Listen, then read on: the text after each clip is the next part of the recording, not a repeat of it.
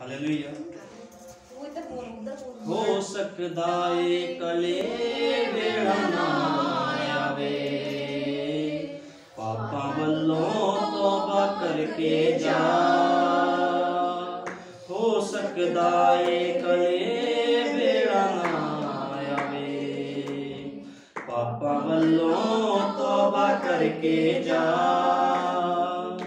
तेरी ज़िंदगी दान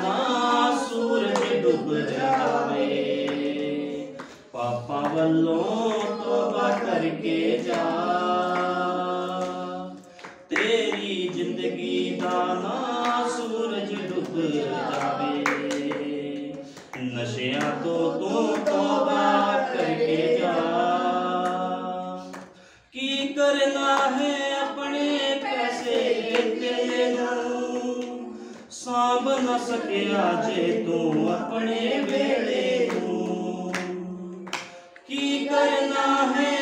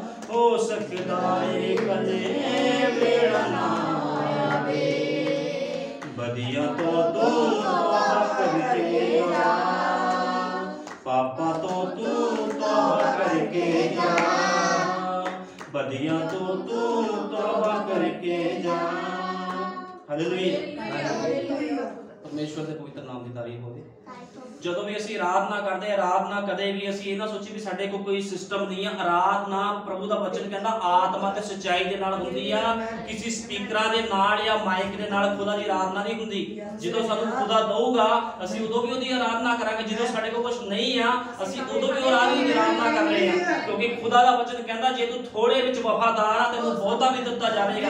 ਜੇ ਅਸੀਂ ਥੋੜੇ ਵਿੱਚ ਵਫਾਦਾਰ ਆ ਇੱਕ ਛੋਟਾ ਝੁੰਡਾ ਤੇ ਛੋਟਾ ਝੁੰਡ ਹੀ ਉਠਾਇਆ ਜਾਵੇਗਾ। ਕਿਉਂਕਿ ਖੁਦਾ ਦਾ ਬਚਨ ਕਹਿੰਦਾ ਭੀੜਾਂ ਦੇ ਵਿੱਚ ਖੁਦਾ ਨਹੀਂ ਹੁੰਦਾ। ਹਾਲੇਲੂਇਆ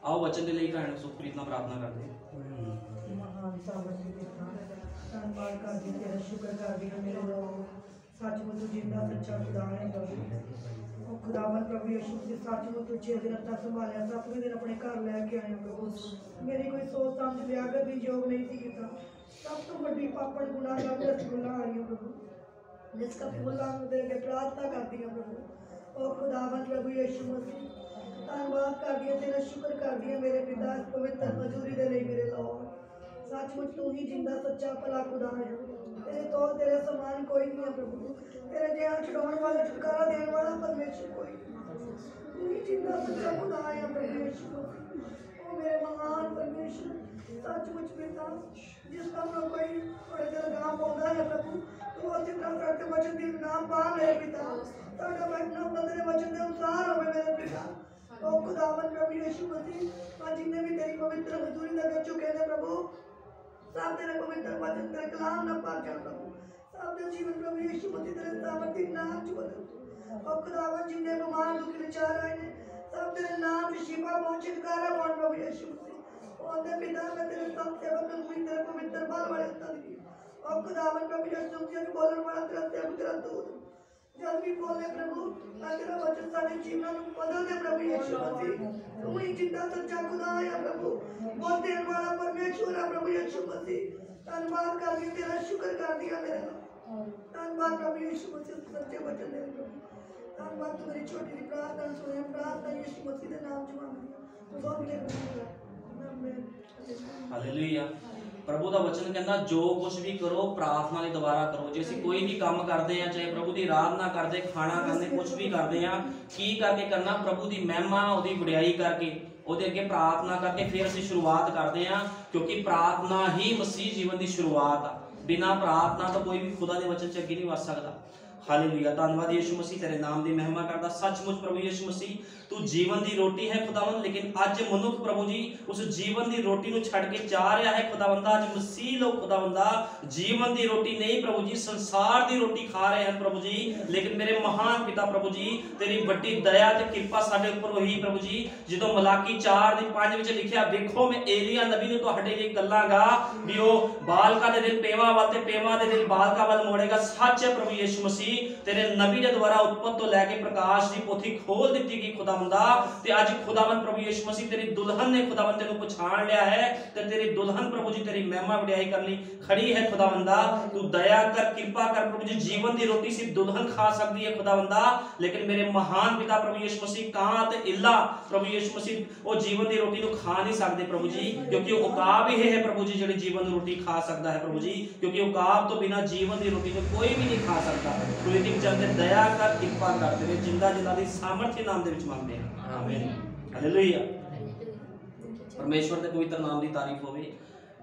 ਅੱਜ ਕੀ ਅਸੀਂ ਆਖਰੀ ਯੁੱਗ ਵਿੱਚ ਰਹਿ ਰਹੇ ਹਾਂ ਕਿਉਂਕਿ ਸਾਨੂੰ ਪਤਾ ਆ ਵੀ ਇੱਕ ਦੂਤ ਭੇਜਿਆ ਗਿਆ ਮੈਂ ਬਾਰ-ਬਾਰ ਦੂਤ ਦੀ ਗੱਲ ਇਸ ਕਰਕੇ ਕਰਦਾ ਆ ਕਿਉਂਕਿ ਦੂਤ ਦੇ ਦੁਆਰਾ ਹੀ ਵਚਨ ਸਾਡੇ ਸਾਹਮਣੇ ਖੁੱਲਿਆ ਆ। ਜਿਹਦਾ ਨਾਮ ਭਾਈ ਵਿਲੀਅਮ ਮੈਰੀ ਬ੍ਰਾਨਮ ਸੀ ਜੋ ਕਿ 1909 ਦੇ ਵਿੱਚ ਪੈਦਾ ਹੋਇਆ ਤੇ ਉਸਨੇ ਕੀ ਕੀਤਾ? ਜਦੋਂ ਪੈਦਾ ਹੋਇਆ ਸੀ, ਪੈਦਾ ਹੋਣ ਦੇ ਸਾਰ ਹੀ ਪਿੱਲਰ ਆਫ ਫਾਇਰ ਉਹਦੇ ਸਿਰ ਤੇ ਰਹਿੰਦਾ ਸੀ, ਅੱਗ ਦਾ ਖੰਭਾ ਜਿਹੜਾ ਇਜ਼ਰਾਈਲੀਆਂ ਦੇ ਨਾਲ ਰਹਿੰਦਾ ਸੀਗਾ, ਉਹੀ ਪਿੱਲਰ ਆਫ ਫਾਇਰ ਜਿਹੜਾ ਮੂਸਾ ਦੇ ਨਾਲ ਰਹਿੰਦਾ ਸੀਗਾ, ਉਹੀ ਬਚਪਨ ਤੋਂ ਹੀ ਭਾਈ ਬ੍ਰਾਨਮ ਦੇ ਨਾਲ ਰਹਿੰਦਾ ਸੀ ਤੇ ਸਾਰੇ ਹੀ ਭੇਦ ਭਾਈ ਬ੍ਰਾਨਮ ਦੁਆਰਾ ਖੋਲ ਦਿੱਤੇ ਗਏ। ਹੁਣ ਜਿਹੜੇ ਭੇਦ ਭਾਈ ਬ੍ਰਾਨਮ ਨੇ ਖੋਲੇ ਆ, ਉਹਨਾਂ ਦਾ ਸਾਡੇ ਜੀਵਨ ਦੇ ਵਿੱਚ ਬਹੁਤ ਵੱਡਾ ਮਹੱਤਵ ਆ। ਅੱਜ ਲੋਕ ਕਹਿੰਦੇ ਆ ਵੀ ਤੁਸੀਂ ਨਬੀ ਦੀ ਸਿੱਖਿਆ ਨੂੰ ਮੰਨਦੇ ਆ। ਨਬੀ ਦੀ ਸਿੱਖਿਆ ਆਪਣੀ ਸਿੱਖਿਆ ਨਹੀਂ ਸੀ। ਨਬੀ ਦੀ ਸਿੱਖਿਆ ਯਿਸੂ ਮਸੀਹ ਦੀ ਸਿੱਖਿਆ ਆ। ਤੇ ਜਿਹੜਾ ਦੂਤ ਭੇਜਿਆ ਗਿਆ, ਭਾਈ ਬ੍ਰੈਨਮ, ਉਹ ਯਿਸੂ ਮਸੀਹ ਦੁਆਰਾ ਭੇਜਿਆ ਗਿਆ, ਯਹੋਵਾ ਦੁਆਰਾ ਭੇਜਿਆ ਗਿਆ। ਕਿਉਂਕਿ ਕਦੇ ਵੀ ਇਸ ਤਰ੍ਹਾਂ ਨਹੀਂ ਹੁੰਦਾ ਵੀ ਖੁਦਾ ਕੋਈ ਕੰਮ ਕਰੇ ਤੇ ਆਪਣੇ ਦੂਤ ਨੂੰ ਨਾ ਭੇਜੇ। ਕਦੇ ਵੀ ਖੁਦਾਵੰਦ ਲੋਕਾਂ ਨੂੰ ਚੇਤਾਵਨੀ ਦਿੱਤੇ ਬਿਨਾ ਦੁਨੀਆ ਦਾ ਖਾਤਮਾ ਨਹੀਂ ਕਰਦਾ। ਕਿਉਂਕਿ ਉਹਦਾ ਇੱਕ ਰੂਲ ਹੈ ਇੱਕ ਸਿਸਟਮ ਆ, ਬਿਨਾ ਚੇਤਾਵਨੀ ਤੋਂ ਖੁਦਾ ਕੁਝ ਨਹੀਂ ਕਰਦਾ। ਅੱਜ ਇਸੇ ਤਰ੍ਹਾਂ ਆ, ਅੱਜ ਲੋਕ ਜੀਵਨ ਦੀ ਰੋਟੀ ਨੂੰ ਛੱਡ ਕੇ ਜਾ ਰਹੇ ਆ ਕਿਉਂਕਿ ਯਿਸੂ ਮਸੀਹ ਨੇ ਕਿਹਾ ਸੀ, ਮੇਰਾ ਮਾਸ ਤੇ ਲਹੂ ਖਾਣ ਤੇ ਪੀਣ ਦੀ ਵਸਤੂ ਆ, ਲੇਕਿਨ ਅੱਜ ਕੀ ਆ, ਲੋਕ ਸੰਸਾਰ ਦੇ ਵਿੱਚ ਚੱਲ ਗਏ ਮਸੀਹ ਲੋਕਾਂ ਦਾ ਜੀਵਨ ਹੀ ਖਰਾਬ ਹੋ ਗਿਆ ਹੈ ਕਿਉਂਕਿ ਜਿਹੜੀ ਬਾਈਬਲ ਆ, ਇਹ ਕਿਸੇ ਹੋਰ ਤੇ ਲਾਗੂ ਨਹੀਂ ਹੁੰਦੀ, ਬਾਈਬਲ ਮਸੀਹਾਂ ਵਾਸਤੇ ਆ। ਬਾਈਬਲ ਮਸੀਹ ਲੋਕਾਂ ਤੇ ਲਾਗੂ ਹੁੰਦੀ, ਜੇ ਤੁਸੀਂ ਕਹੋਗੇ ਦੂਜੀਆਂ ਜਾਤਾਂ ਤੇ ਅਸੀਂ ਲਾਗੂ ਕਰੇ, ਤੇ ਉਹ ਲੋਕ ਬਾਈਬਲ ਨੂੰ ਵਿਸ਼ਵਾਸ ਨਹੀਂ ਕਰਦੇ, ਬਾਈਬਲ ਨੂੰ ਨਹੀਂ ਨਹੀਂ ਮੰਨਦੇ, ਲੇਕਿਨ ਬਾਈਬਲ ਨੂੰ ਕੌਣ ਮੰਨਦਾ ਆ? ਕੌਣ ਕਹਿੰਦਾ ਕਿ ਅਸੀਂ ਖੁਦਾ ਦੇ ਆਤਮਾ ਵਿੱਚ ਚੱਲਦੇ, ਮਸੀਹ ਲੋਕ। ਲੇਕਿਨ ਅੱਜ ਮਸੀਹ ਲੋਕਾਂ ਦਾ ਜੀਵਨ ਖੁਦਾ ਦੇ ਵਚਨ ਦੇ ਅਨੁਸਾਰ ਨਹੀਂ ਹੈ ਯੀਸ਼ੂ ਮਸੀਹ ਨੇ ਕਿਹਾ ਸੀਗਾ, ਜੀਵਨ ਦੀ ਰੋਟੀ ਮੈਂ ਆ ਯਹੂਨਾ 6 ਦੀ 35 ਵਿੱਚੋਂ ਪੜਾਂਗੇ ਯਹੂਨਾ 6 ਦੀ 35 ਵਿੱਚ।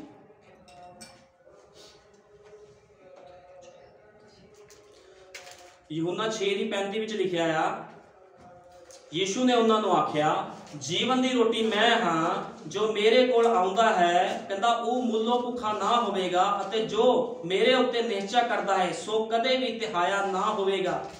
ਹੁਣ ਦੇਖੋ, ਖੁਦਾਵੰਦ ਕੀ ਕਹਿ ਰਿਹਾ, ਪ੍ਰਭੂ ਯੀਸ਼ੂ ਮਸੀਹ ਕਹਿ ਰਿਹਾ ਵੀ ਜੀਵਨ ਦੀ ਰੋਟੀ ਮੈਂ ਆ ਅੱਜ ਲੋਕ ਇਸ ਜੀਵਨ ਦੀ ਰੋਟੀ ਨੂੰ ਛੱਡ ਕੇ ਸੰਸਾਰ ਦੀ ਰੋਟੀ ਵੱਲ ਭੱਜਦੇ ਆ। ਕਿਉਂਕਿ ਖੁਦਾ ਨੇ ਕਿਹਾ ਸੀਗਾ ਵੀ ਜਿਹੜਾ ਮਨੁੱਖ ਮੇਰੇ ਮਾਸ ਤੇ ਲਹੂ ਨੂੰ ਖਾਂਦਾ, ਪੀਂਦਾ, ਉਹ ਕਦੇ ਵੀ ਭੁੱਖਾ ਤੇ ਧਿਆਇਆ ਨਹੀਂ ਰਹੇਗਾ। ਇਹ ਕਿਹੜਾ ਮਾਸ ਤੇ ਲਹੂ ਆ? ਸਾਨੂੰ ਸਮਝਣ ਦੀ ਲੋੜ ਆ। ਯੀਸ਼ੂ ਮਸੀਹ ਦਾ ਵਚਨ ਅਸੀਂ ਖਾਣਾ ਆ।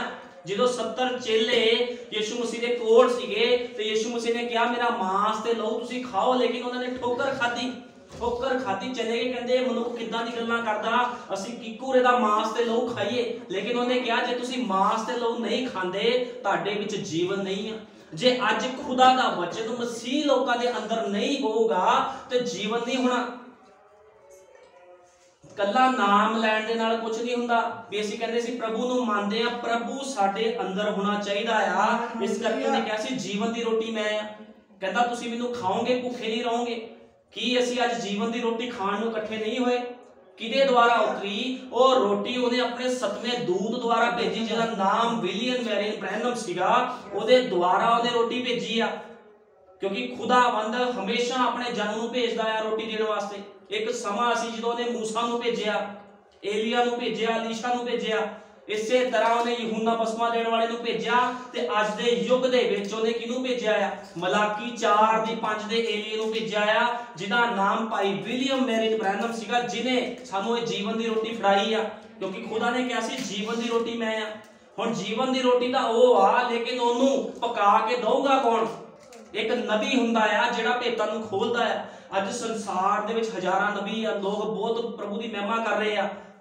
ਹਜ਼ਾਰਾਂ ਨਬੀ ਆ, ਹਜ਼ਾਰਾਂ ਭਵਿਸ਼ਕਤਾ ਨੇ ਜਿਹੜੇ ਦਾਵਾ ਕਰਦੇ ਵੀ ਸੀ ਖੁਦਾ ਵੱਲੋਂ ਆ।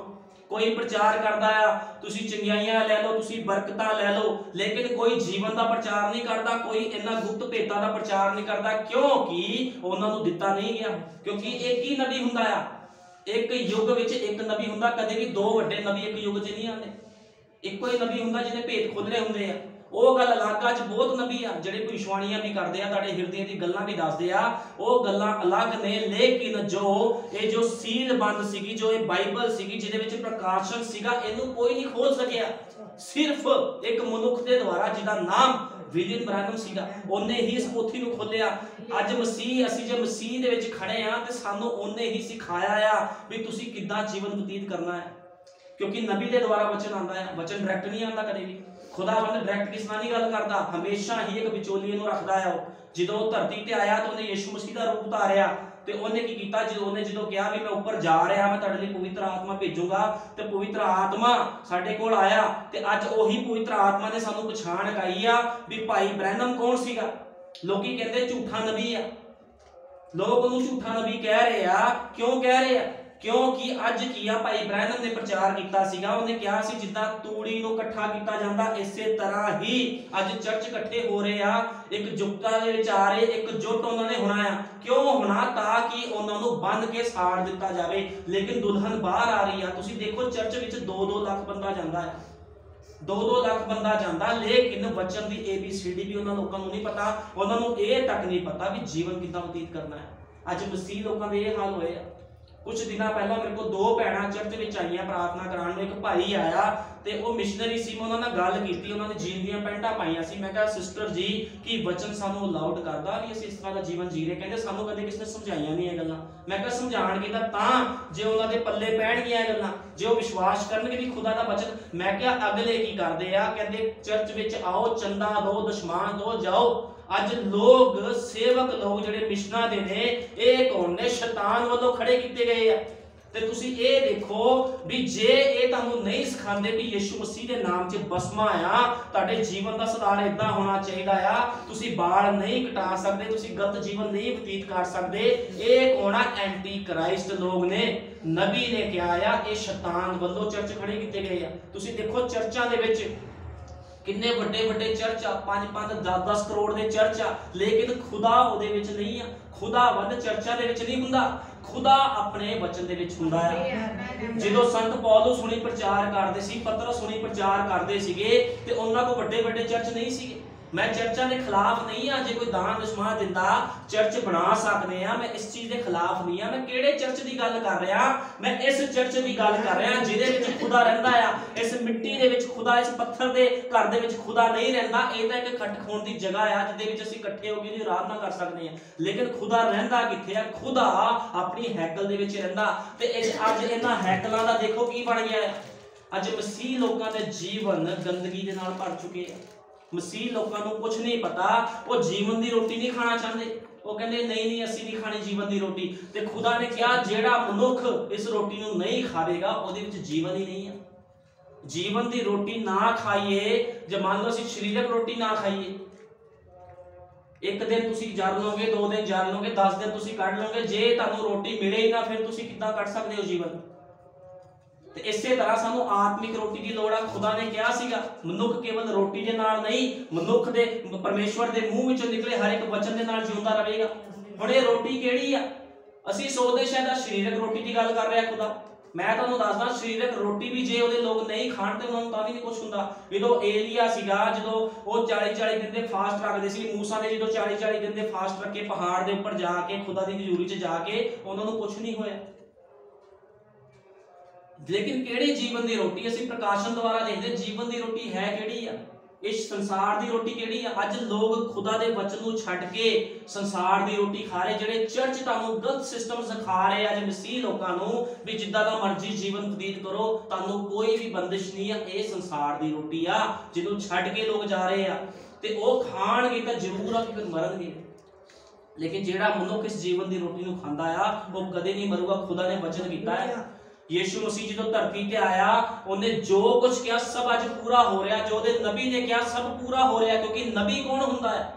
ਨਬੀ ਯੀਸ਼ੂ ਮਸੀਹ ਦੀ ਆਵਾਜ਼ ਆ। ਲੋਕੀ ਸੋਚਦੇ ਲੋਕਾਂ ਨੂੰ ਨਬੀਆਂ ਬਾਰੇ ਨਹੀਂ ਪਤਾ। ਉਹ ਸੋਚਦੇ ਵੀ ਨਬੀ ਸ਼ਾਇਦ ਭਵਿਸ਼ਵਾਣੀ ਕਰਦਾ ਹੈ, ਜਾਂ ਲੋਕਾਂ ਦੀ ਦਿਲ ਦੀ ਗੱਲਾਂ ਜਾਣਦਾ ਹੈ, ਚੰਗਿਆਈਆਂ। ਨਹੀਂ, ਨਬੀ ਕੀ ਕਰਦਾ? ਬੰਦ ਭੇਤਾਂ ਨੂੰ ਖੋਲ ਦਿੰਦਾ ਹੈ।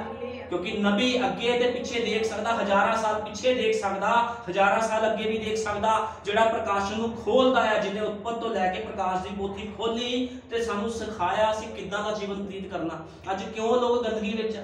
ਉਹਨਾਂ ਨੂੰ ਪਤਾ ਨਹੀਂ ਆ, ਉਹਨਾਂ ਨੂੰ ਬਾਈਬਲ ਦੀ ਨੌਲੇਜ ਨਹੀਂ ਆ। ਨਬੀ ਨੇ ਕਿਹਾ, ਇਹਨਾਂ ਲੋਕਾਂ ਨੂੰ ਏ ਬੀ ਸੀ ਡੀ ਵੀ ਨਹੀਂ ਪਤਾ, ਤੁਸੀਂ ਇਹਨਾਂ ਲੋਕਾਂ ਨਾਲ ਸੰਗਤ ਨਾ ਕਰੋ।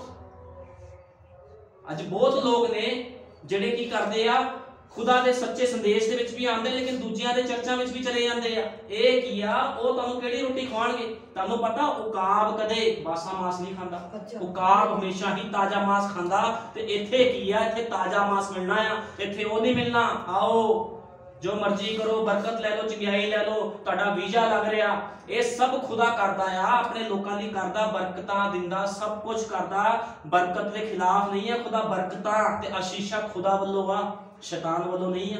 ਖੁਦਾਵੰਦ ਆਪਣੇ ਲੋਕਾਂ ਨੂੰ ਬਰਕਤਾਂ ਦਿੰਦਾ, ਲੇਕਿਨ ਉਹ ਕਹਿੰਦਾ, ਬਰਕਤਾਂ ਤੱਕ ਸੀਮਿਤ ਨਾ ਰਹੋ। ਤੁਸੀਂ ਅਨੰਤ ਜੀਵਨ ਦੇ ਲਈ ਖੜੇ ਹੋ ਜਾਓ। ਅੱਜ ਸਾਨੂੰ ਲੋੜ ਆ ਅਨੰਤ ਜੀਵਨ ਵੱਲ ਜਾਣ ਦੀ, ਲੇਕਿਨ ਲੋਕ ਇਸ ਚੀਜ਼ਾਂ ਨੂੰ ਸਮਝਦੇ ਨਹੀਂ ਆ ਵੀ ਜੀਵਨ ਦੀ ਰੋਟੀ ਕੀ ਆ। ਉਹਨੇ ਤਾਂ ਹੀ ਕਿਹਾ, ਕਹਿੰਦਾ, ਤੁਸੀਂ ਪਿਆਸੇ ਨਹੀਂ ਰਹੋਗੇ ਕਦੇ ਵੀ। ਅੱਜ ਲੋਕ ਪਿਆਸੇ ਆ, ਲੋਕਾਂ ਨੂੰ ਪਤਾ ਨਹੀਂ ਆ। ਜੇ ਉਹਨਾਂ ਦੇ ਅੰਦਰ ਖੁਦਾ ਦਾ ਆਤਮਾ ਹੁੰਦਾ, ਜੇ ਤਰਕਤ ਹੁੰਦੇ, ਤੇ ਅੱਜ ਉਹ ਵੀ ਸਾਡੇ ਵਰਗੂ ਮਹਿਮਾ ਕਰਦੇ, ਉਹਨਾਂ ਨੂੰ ਪਛਾਣ ਹੁੰਦੀ ਵੀ ਨਬੀ ਕੌਣ ਆ। ਲੋਕਾਂ ਨੂੰ ਕੁਝ ਨਹੀਂ ਪਤਾ ਅੱਜ। ਲੋਕਾਂ ਦੇ ਜੀਵਨ ਗਲਤ ਹੋ ਚੁੱਕੀ ਹੈ। ਕਿਉਂਕਿ ਕੀ ਆ ਖੁੱਲਾ ਰਾਸਤਾ ਆ। ਲੋਕੀ ਖੁੱਲੇ ਰਾਸਤੇ, ਅਗਲੇ ਕਹਿੰਦੇ ਚਰਚ ਜਾਂਦੇ ਆ ਦਸ਼ਮਾਸ਼ ਦਿੰਦੇ ਆ, ਬਰਕਤ ਮਿਲ ਰਹੀ ਹੈ ਨਾ। ਸਾਡੇ ਬੱਚੇ ਕੈਨੇਡਾ ਚਲ ਗਏ, ਅਮਰੀਕਾ ਚਲ ਗਏ, ਸਾਡੇ ਕੋਲ ਬਰਕਤ ਆ। ਤੇ ਤੁਸੀਂ ਗਲਤ ਹੋ। ਅਸੀਂ ਤਾਂ ਸਹੀ ਆ ਆਪਣੀ ਜਗ੍ਹਾ ਤੇ, ਅਸੀਂ ਸਭ ਕੁਝ ਕਰਦੇ ਸਾਡੇ ਕੋਲ ਬਰਕਤ ਆ। ਲੇਕਿਨ ਬਰਕਤਾਂ ਜੀਵਨ ਵਿੱਚ ਨਹੀਂ ਜਾਣਗੀਆਂ। ਬਰਕਤਾਂ ਤੁਹਾਨੂੰ ਜੀਵਨ ਵਿੱਚ ਪ੍ਰਵੇਸ਼ ਨਹੀਂ ਕਰਾਣਗੀਆਂ ਜੀਵਨ ਦੇ ਵਿੱਚ ਨਬੀ ਦਾ ਸੰਦੇਸ਼ ਪ੍ਰਵੇਸ਼ ਕਰਾਊਗਾ। ਜਿਹੜਾ ਮਨੁੱਖ ਭਾਈ ਵਿਲੀਅਮ ਮੈਰਿਜ ਬ੍ਰੈਨਮ ਦੇ ਸੰਦੇਸ਼ ਨੂੰ ਰੱਖਦਾ ਆ, ਉਹ ਆਪਣੀ ਮੌਤ ਨੂੰ ਕਬੂਲ ਕਰਦਾ। ਲੇਕਿਨ ਜਿਨ੍ਹਾਂ ਨੇ ਇਸ ਵਚਨ ਨੂੰ ਮੰਨਿਆ, ਉਹ ਜੀਵਨ ਨੂੰ ਕਬੂਲ ਕਰਦੇ ਆ, ਉਹ ਜੀਵਨ ਦੇ ਵਿੱਚ ਜਾਣਗੇ। ਕਿਉਂਕਿ ਅਸੀਂ ਕਿਸੇ ਮਨੁੱਖ ਦੀ ਉਪਾਸਨਾ ਨਹੀਂ ਕਰਦੇ। ਮੈਂ ਤੁਹਾਨੂੰ ਪਹਿਲਾਂ ਵੀ ਇੱਕ ਵਾਰ ਦੱਸਿਆ ਸੀ, ਅਸੀਂ ਕਿਸੇ ਮਨੁੱਖ ਨੂੰ ਨਹੀਂ ਮੰਨਦੇ। ਅਸੀਂ ਬ੍ਰਹਮਵਾਦੀ ਨਹੀਂ ਆ। ਅਸੀਂ ਖੁਦਾ ਦੇ ਵਚਨ ਤੇ ਆਮੀਨ ਬੋਲਦੇ ਆ ਭਾਈ ਬ੍ਰਹਮ ਜਿਹੜਾ ਸਤਵਾਂ ਦੂਸਰੀ ਹੁੰਦਾ ਸੀ ਵਚਨ ਲੈ ਕੇ ਸਾਨੂੰ ਦਿੱਤਾ ਆ ਤੇ ਅਸੀਂ ਕੀ ਕਰ ਰਹੇ? ਉਹਨੂੰ ਖਾ ਰਹੇ ਆ ਅੱਜ ਉਹਨੇ ਸਾਨੂੰ ਸਿਖਾਇਆ ਸੀਗਾ। ਉਹਨੇ ਸਾਨੂੰ ਪਛਾਣ ਕਰਾਈ ਸੀ ਵੀ ਯੀਸ਼ੂ ਮਸੀਹ ਕੌਣ ਆ। ਯਹੂਨਾ 14 ਕੱਟਾਂਗੇ ਯਹੂਨਾ 14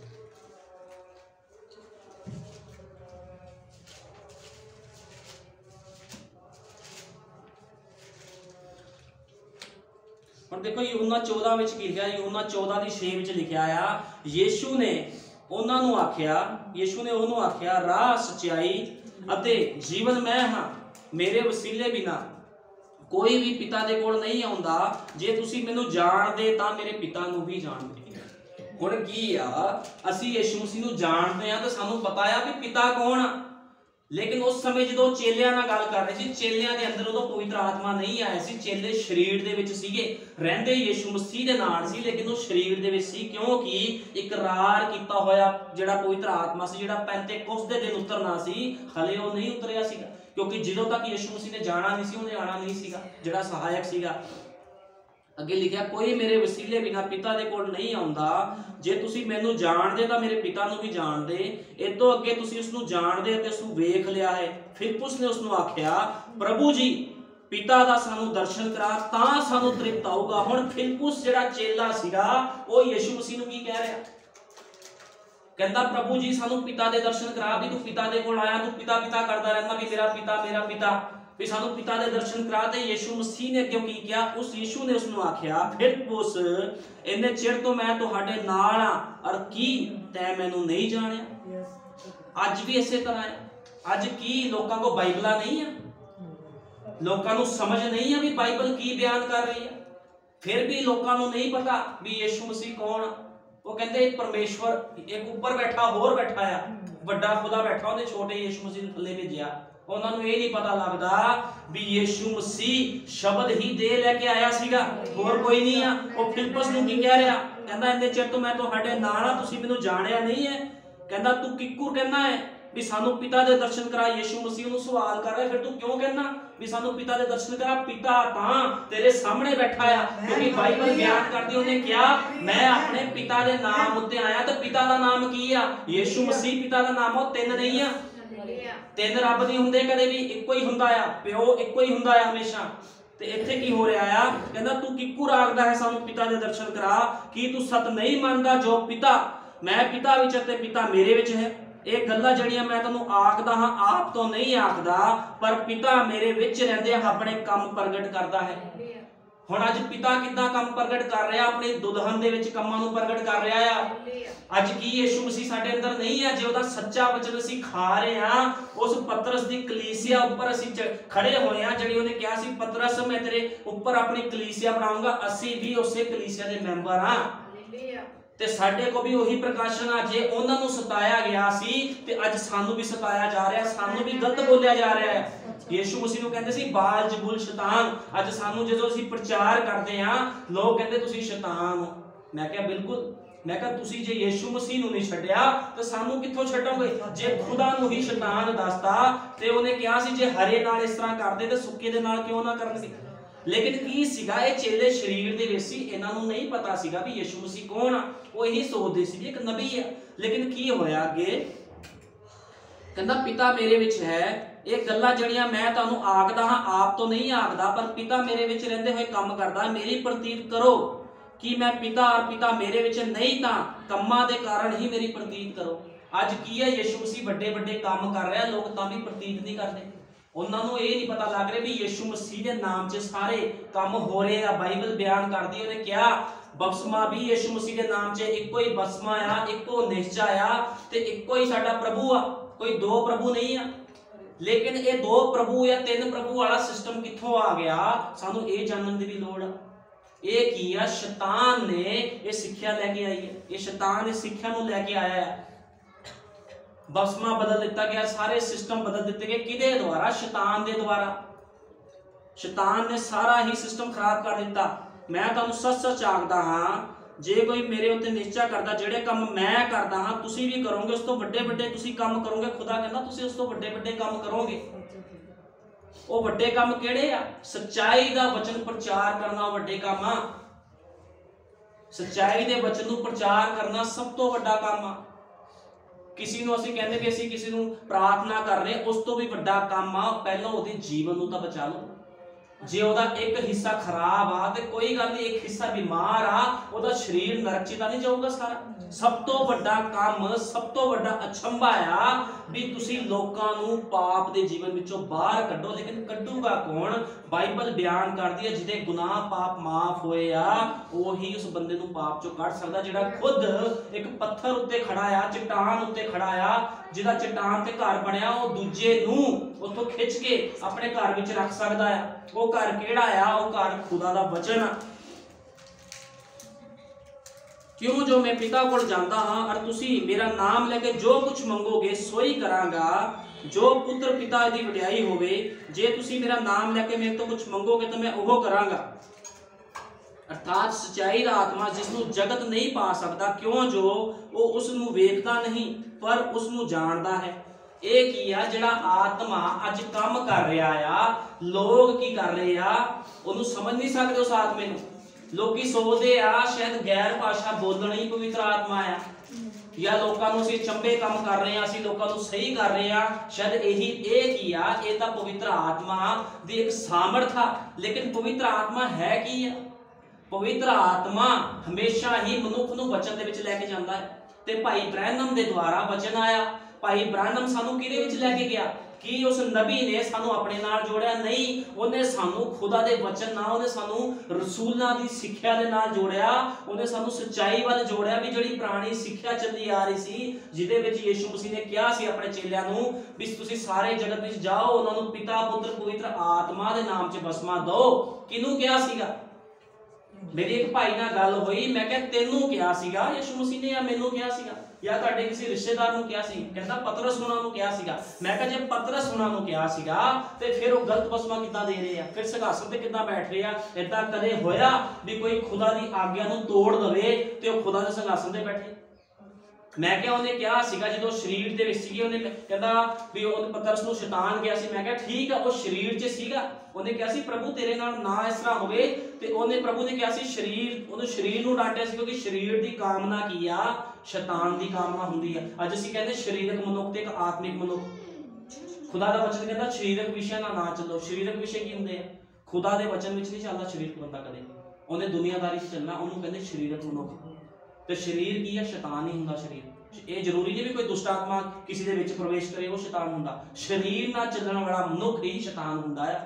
ਕਿਉਂਕਿ ਉਹਦੇ ਅੰਦਰ ਪੂਰੀ ਦੁਨੀਆਦਾਰੀ ਬੜੀ ਹੁੰਦੀ ਆ। ਲੇਕਿਨ ਜਦੋਂ ਖੁਦਾ ਦਾ ਆਤਮਾ ਕਿਸੇ ਮਨੁੱਖ ਦੇ ਅੰਦਰ ਆਂਦਾ ਤੇ ਦੁਨੀਆਦਾਰੀ ਖਤਮ ਹੋ ਜਾਂਦੀ ਆ, ਤੇ ਕੀ ਆ ਜਾਂਦਾ ਆ? ਫਿਰ ਉਹ ਖੁਦਾ ਦੇ ਕੰਮਾਂ ਨੂੰ ਕਰਨਾ ਸ਼ੁਰੂ ਕਰ ਦਿੰਦਾ। ਫਿਰ ਉਹ ਬੰਦਾ ਪੈਸੇ ਦੀ ਪਰਵਾਹ, ਨੌਕਰੀ ਦੀ ਪਰਵਾਹ, ਸ਼ਾਨ, ਸ਼ੌਕਤ ਦੀ ਪਰਵਾਹ ਨਹੀਂ ਕਰਦਾ। ਉਹ ਬੰਦਾ ਵਚਨ ਦੇ ਕੰਮ ਕਰਦਾ ਤੇ ਪਤਰਸ ਉਦੋਂ ਸਰੀਰ ਦੇ ਵਿੱਚ ਸੀ, ਮੈਂ ਉਸ ਭਾਈ ਨੂੰ ਕਿਹਾ, ਉਦੋਂ ਪਤਰਸ ਸਰੀਰ 'ਚ ਸੀਗਾ, ਲੇਕਿਨ ਜਦੋਂ ਪੈਂਤੇਕੋਸ ਦੇ ਦਿਨ ਉਹਦੇ ਅੰਦਰ ਪਵਿੱਤਰ ਆਤਮਾ ਆਇਆ, ਤੇ ਕੀ ਹੋਇਆ? ਉਹੀ ਪਤਰਸ ਜਾ ਕੇ ਕਹਿ ਰਿਹਾ ਆ, ਕਹਿੰਦਾ ਅਸੀਂ ਸ਼ਰਾਬ ਨਹੀਂ ਪੀਤੀ ਆ। ਕਹਿੰਦਾ ਇਹ ਤਾਂ ਉਹ ਕਰਾਰ ਜਿਹੜਾ ਜੋਇਲ ਨਬੀ ਨੇ ਕਿਹਾ ਸੀ, ਪੂਰਾ ਹੋਇਆ ਆ। ਵੀ ਤੁਹਾਡੇ ਲੋਕ ਭਵਿਸ਼ਵਾਣੀਆਂ ਕਰਨਗੇ, ਦੇਖੋ ਅੱਗ ਦਾ ਬਸਮਾ, ਅੱਗ ਵਾਲੀ ਜੀਭਾ ਹੁੰਦੀਆਂ ਤੇ ਪਤਰਸ ਨੇ ਕੀ ਕਿਹਾ? ਉਹ ਕਹਿੰਦਾ ਭਾਈਓ ਹੁਣ ਅਸੀਂ ਕੀ ਕਰੀਏ? ਸਾਡੇ ਤੋਂ ਤਾਂ ਗਲਤੀ ਹੋ ਗਈ ਆ। ਕਹਿੰਦਾ, ਤੁਸੀਂ ਯਿਸੂ ਮਸੀਹ ਨੂੰ ਸੂਲੀ ਚਾੜਤਾ? ਉਹ ਕਹਿੰਦੇ, ਸਾਡੇ ਕੋਲ ਗਲਤੀ ਹੋਈ ਆ। ਲੋਕ ਕਹਿੰਦੇ, ਹੁਣ ਅਸੀਂ ਕੀ ਕਰੀਏ? ਕਹਿੰਦਾ, ਆਪਣੇ ਆਪਣੇ ਗੁਨਾਹ ਪਾਪਾਂ ਦੀ ਮਾਫੀ ਦੇ ਲਈ ਪ੍ਰਭੂ ਯਿਸੂ ਮਸੀਹ ਦੇ ਨਾਮ ਵਿੱਚ ਬਸਮਾ ਲਓ, ਤਾਂ ਪਵਿੱਤਰ ਆਤਮਾ ਦਾ ਦਾਨ ਪਾਓਗੇ। ਹੁਣ ਬਾਈਬਲ ਦੇ ਵਿੱਚ ਕੋਈ ਦੂਜਾ ਬਸਮਾ ਨਹੀਂ ਹੈ। ਚੇਲੇ ਯਿਸੂ ਮਸੀਹ ਦੇ ਨਾਮ 'ਚ ਬਸਮਾ ਦਿੰਦੇ ਸੀ, ਲੇਕਿਨ ਕਿਹਦੇ ਦੁਆਰਾ ਬਦਲ ਦਿੱਤਾ ਗਿਆ? ਰੋਮ ਦੇ ਦੁਆਰਾ। ਇਸ ਨੂੰ ਬਦਲ ਦਿੱਤਾ ਗਿਆ। ਇੱਕ ਦਿਨ। ਲੋਕ ਕਹਿੰਦੇ, ਬਸਮਾ ਲੈਣ ਨਾਲ ਕੀ ਹੋ ਜਾਊਗਾ? ਬਪਸਮਾ ਹੀ ਜਿਹੜਾ ਬੈਪਟਾਈਜ਼ ਆ, ਇਹੀ ਐਡਮਿਸ਼ਨ ਆ ਮੇਨ ਚੀਜ਼ ਇਹ ਆ। ਜਦੋਂ ਤੱਕ ਕੋਈ ਮਨੁੱਖ ਨਹਾਉਂਦਾ, ਧੋਂਦਾ ਨਹੀਂ ਆ, ਉਹ ਕਿਦਾਂ ਵਿਆਹ ਦੇ ਘਰ ਦੇ ਵਿੱਚ ਪ੍ਰਵੇਸ਼ ਕਰ ਸਕਦਾ, ਨਹੀਂ ਕਰ ਸਕਦਾ? ਜੇ ਅਸੀਂ ਵੀ ਖੁਦਾ ਦੇ ਨਾਲ ਉਹ ਭੋਜ ਕਰਨਾ ਆ, ਉਹਦੇ ਆਰਾਧਨਾ ਕਰਨੀ ਆ, ਉਹਦੇ ਰਾਜ ਵਿੱਚ ਜਾਣਾ ਆ, ਤਾਂ ਉੱਥੇ ਪ੍ਰਭੂ ਭੋਜ ਹੋਣਾ ਸਭ ਤੋਂ ਪਹਿਲਾਂ। ਤੇ ਉਸ ਪ੍ਰਭੂ ਭੋਜ ਦੇ ਵਿੱਚ ਗੰਦੇ ਕੱਪੜੇ ਵਾਲਾ ਨਹੀਂ ਜਾ ਸਕਦਾ। ਕਿਹੜੇ ਕੱਪੜੇ ਚਾਹੀਦੇ ਆ? ਚਾਹੇ ਇਹ ਕੱਪੜੇ ਗੰਦੇ ਹੋਣ, ਫਟੇ ਹੋਣ ਕੋਈ ਗੱਲ ਨਹੀਂ ਲੇਕਿਨ ਤੁਹਾਡੇ ਆਤਮਿਕ ਕੱਪੜੇ ਵਧੀਆ ਹੋਣੇ ਚਾਹੀਦੇ ਆ। ਲੇਕਿਨ ਉਹ ਕੱਪੜੇ ਮਿਲਣਗੇ ਕਿੱਦਾਂ? ਜਦੋਂ ਤੱਕ ਤੁਸੀਂ ਵਚਨ ਤੇ ਵਿਸ਼ਵਾਸ ਹੀ ਨਹੀਂ ਕਰਦੇ ਸਾਨੂੰ ਪਤਾ ਹੀ ਨਹੀਂ ਆ। ਅਸੀਂ ਕਹਿੰਦੇ ਅਸੀਂ ਯੀਸ਼ੂ ਮਸੀਹ ਦੇ ਕੋਲ ਜਾਣਾ। ਅੱਜ ਬਿਸ਼ਨਾ ਜਥੇਬੰਦੀਆਂ ਹਜ਼ਾਰਾਂ ਲੋਕ ਕਹਿ ਰਹੇ ਆ ਅਸੀਂ ਪ੍ਰਭੂ ਕੋ ਜਾਣਾ ਅਸੀਂ ਪ੍ਰਭੂ ਕੋ ਜਾਣਾ। ਉਹਨਾਂ ਨੂੰ ਪ੍ਰਭੂ ਦਾ ਤਾਂ ਪਤਾ ਹੀ ਨਹੀਂ ਪ੍ਰਭੂ ਹੈ ਕੌਣ ਉਹ ਕਹਿੰਦਾ ਵੀ ਦਰਵਾਜ਼ਾ ਮੈਂ ਆ। ਕਹਿੰਦਾ ਮੇਰੇ ਬਿਨਾ ਤੁਸੀਂ ਪਿਤਾ ਦੇ ਕੋਲ ਜਾ ਨਹੀਂ ਸਕਦੇ। ਹੁਣ ਇੱਥੇ ਫਿਲਪੁਸ ਨੇ ਇਹੀ ਸਵਾਲ ਕੀਤਾ ਸੀ ਕਿ ਪਿਤਾ ਦੇ ਦਰਸ਼ਨ ਕਰਾ। ਉਹ ਕਹਿੰਦਾ ਮੈਂ ਹੀ ਆ ਪਿਤਾ। ਲੇਕਿਨ ਜਦੋਂ ਪਵਿੱਤਰ ਆਤਮਾ ਅੰਦਰ ਆਇਆ ਤੇ ਜਿਹੜੇ ਚੇਲੇ ਨੂੰ ਯਿਸੂ ਮਸੀਹ ਕਹਿ ਰਿਹਾ ਸੀ, ਪਿਤਾ ਅਤੇ ਪੁੱਤਰ ਅਤੇ ਪਵਿੱਤਰ ਆਤਮਾ ਦੇ ਨਾਮ 'ਚ ਬਸਮਾ ਦੇ, ਉਹ ਚੇਲਾ ਕਿਹਦੇ ਨਾਮ 'ਚ ਬਸਮਾ ਦੇ ਰਿਹਾ? ਪਵਿੱਤਰ ਆਤਮਾ ਨੇ ਉਹਨੂੰ ਦੱਸਿਆ ਵੀ ਪਿਤਾ ਕੌਣ ਆ, ਪੁੱਤਰ ਕੌਣ ਆ, ਪਵਿੱਤਰ ਆਤਮਾ ਕੌਣ ਆ?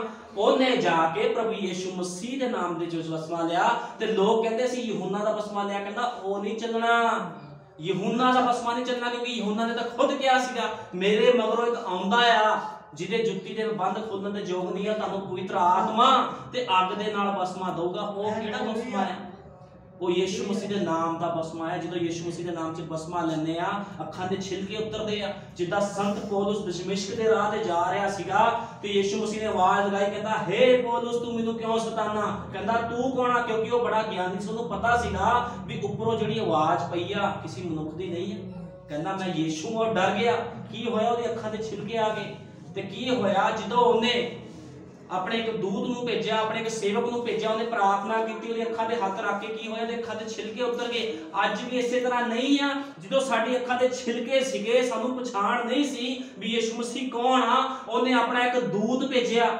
ਜਿੱਦਾਂ ਉਸ ਸਮੇਂ ਉਹਨੇ ਆਪਣਾ ਇੱਕ ਦੂਤ ਭੇਜਿਆ ਸੀਗਾ, ਜਿਹਦਾ ਨਾਮ ਹਨਨਿਆ ਸੀਗਾ। ਇੱਕ ਹਨਨਿਆ ਨਾਮੇ ਦੂਤ ਭੇਜਿਆ, ਉਹਨੇ ਜਾ ਕੇ ਪ੍ਰਾਰਥਨਾ ਕੀਤੀ, ਪੌਲਸ ਦੇ ਉੱਪਰ ਹੱਥ ਰੱਖ ਕੇ। ਤੇ ਕੀ ਹੋਇਆ? ਪੌਲਸ ਦੇ ਅੱਖਾਂ ਦੇ ਛਿਲਕੇ ਉਤਰ ਗਏ। ਜਦੋਂ ਭਾਈ ਬ੍ਰੈਨਮ ਨੇ ਇਹ ਪੋਥੀ ਸਾਡੇ ਸਾਹਮਣੇ ਖੋਲੀ, ਆਪਣੀ ਦੁਲਹਨ ਸਾਹਮਣੇ ਖੋਲੀ, ਤੇ ਦੁਲਹਨ ਨੂੰ ਪਛਾਣ ਹੋ ਗਈ ਵੀ ਮੇਰਾ ਪਤੀ ਕੌਣ ਅੱਜ ਸਾਨੂੰ ਪਤਾ ਆ ਵੀ ਯੀਸ਼ੂ ਮਸੀਹ ਸਾਡਾ ਪਤੀ ਆ। ਯੀਸ਼ੂ ਮਸੀਹ ਸਾਨੂੰ ਲੈਣ ਆ ਰਿਹਾ।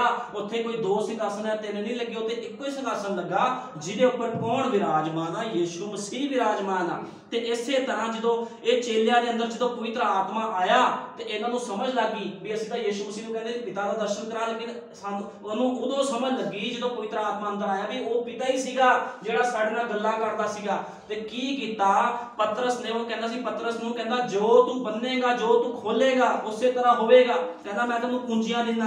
ਤੇ ਪਤਰਸ ਨੇ ਕੀ ਕੀਤਾ? ਪਤਰਸ ਨੇ ਕਿਹਾ, ਆਪਣੇ ਆਪਣੇ ਗੁਨਾਹ ਪਾਪਾਂ ਦੀ ਮਾਫੀ ਦੇ ਲਈ ਪ੍ਰਭੂ ਯਿਸੂ ਮਸੀਹ ਦੇ ਨਾਮ 'ਚ ਬਸਮਾ ਲਓ। ਤੇ ਇਹ ਗੱਲ ਬਿਲਕੁਲ ਸੀਲ ਹੋ ਗਈ।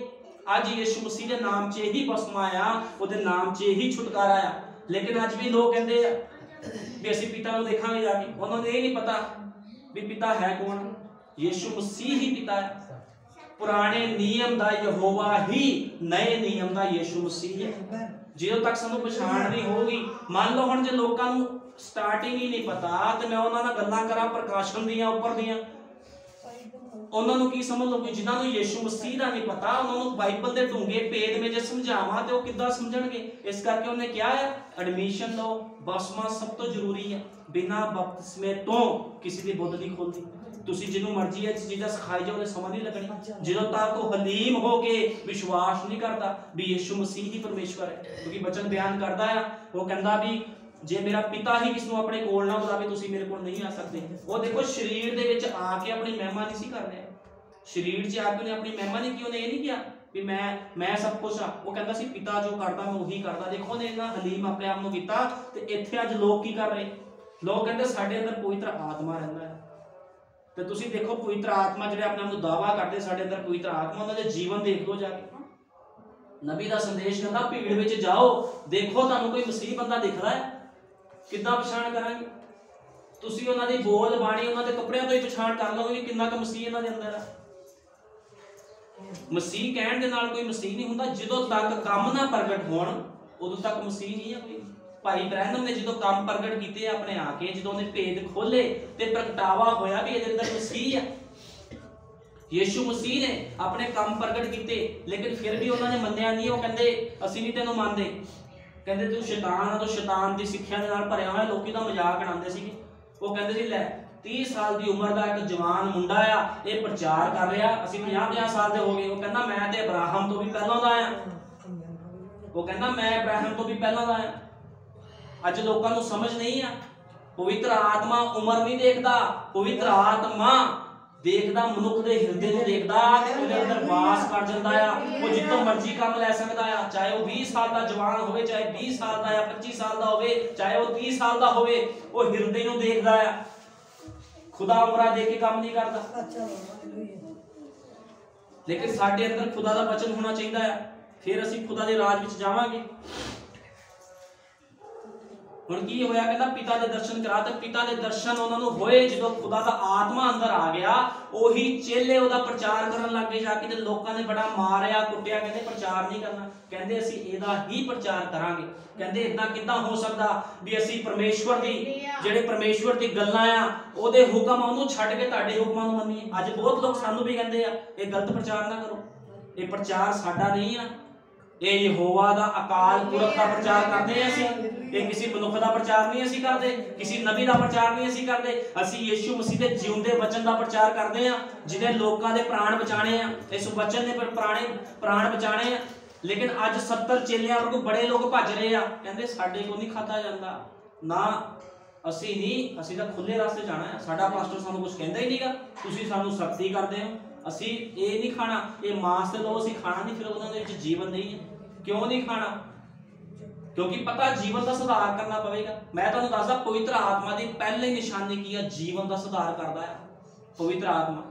ਲੇਕਿਨ ਅੱਜ ਲੋਕਾਂ ਦੇ ਜੀਵਨ ਦੇਖ ਲਓ ਕਿੰਨਾ ਗੰਦਗੀ ਵਿੱਚ ਚਲੇ ਗਏ ਹੈ ਲੇਕਿਨ ਧੰਨ ਉਹ ਮਨੁੱਖਾ ਜਿਹੜੇ ਖੁਦਾ ਦੇ ਵਚਨ ਤੇ ਵਿਸ਼ਵਾਸ ਕਰਦੇ ਆ। ਇਸ ਕਰਕੇ ਉਹਨੇ ਕਿਹਾ, ਜੀਵਨ ਦੀ ਰੋਟੀ ਮੈਂ ਆ। ਅੱਜ ਲੋਕ ਸੰਸਾਰ ਦੀ ਰੋਟੀ ਖਾ ਰਹੇ ਆ।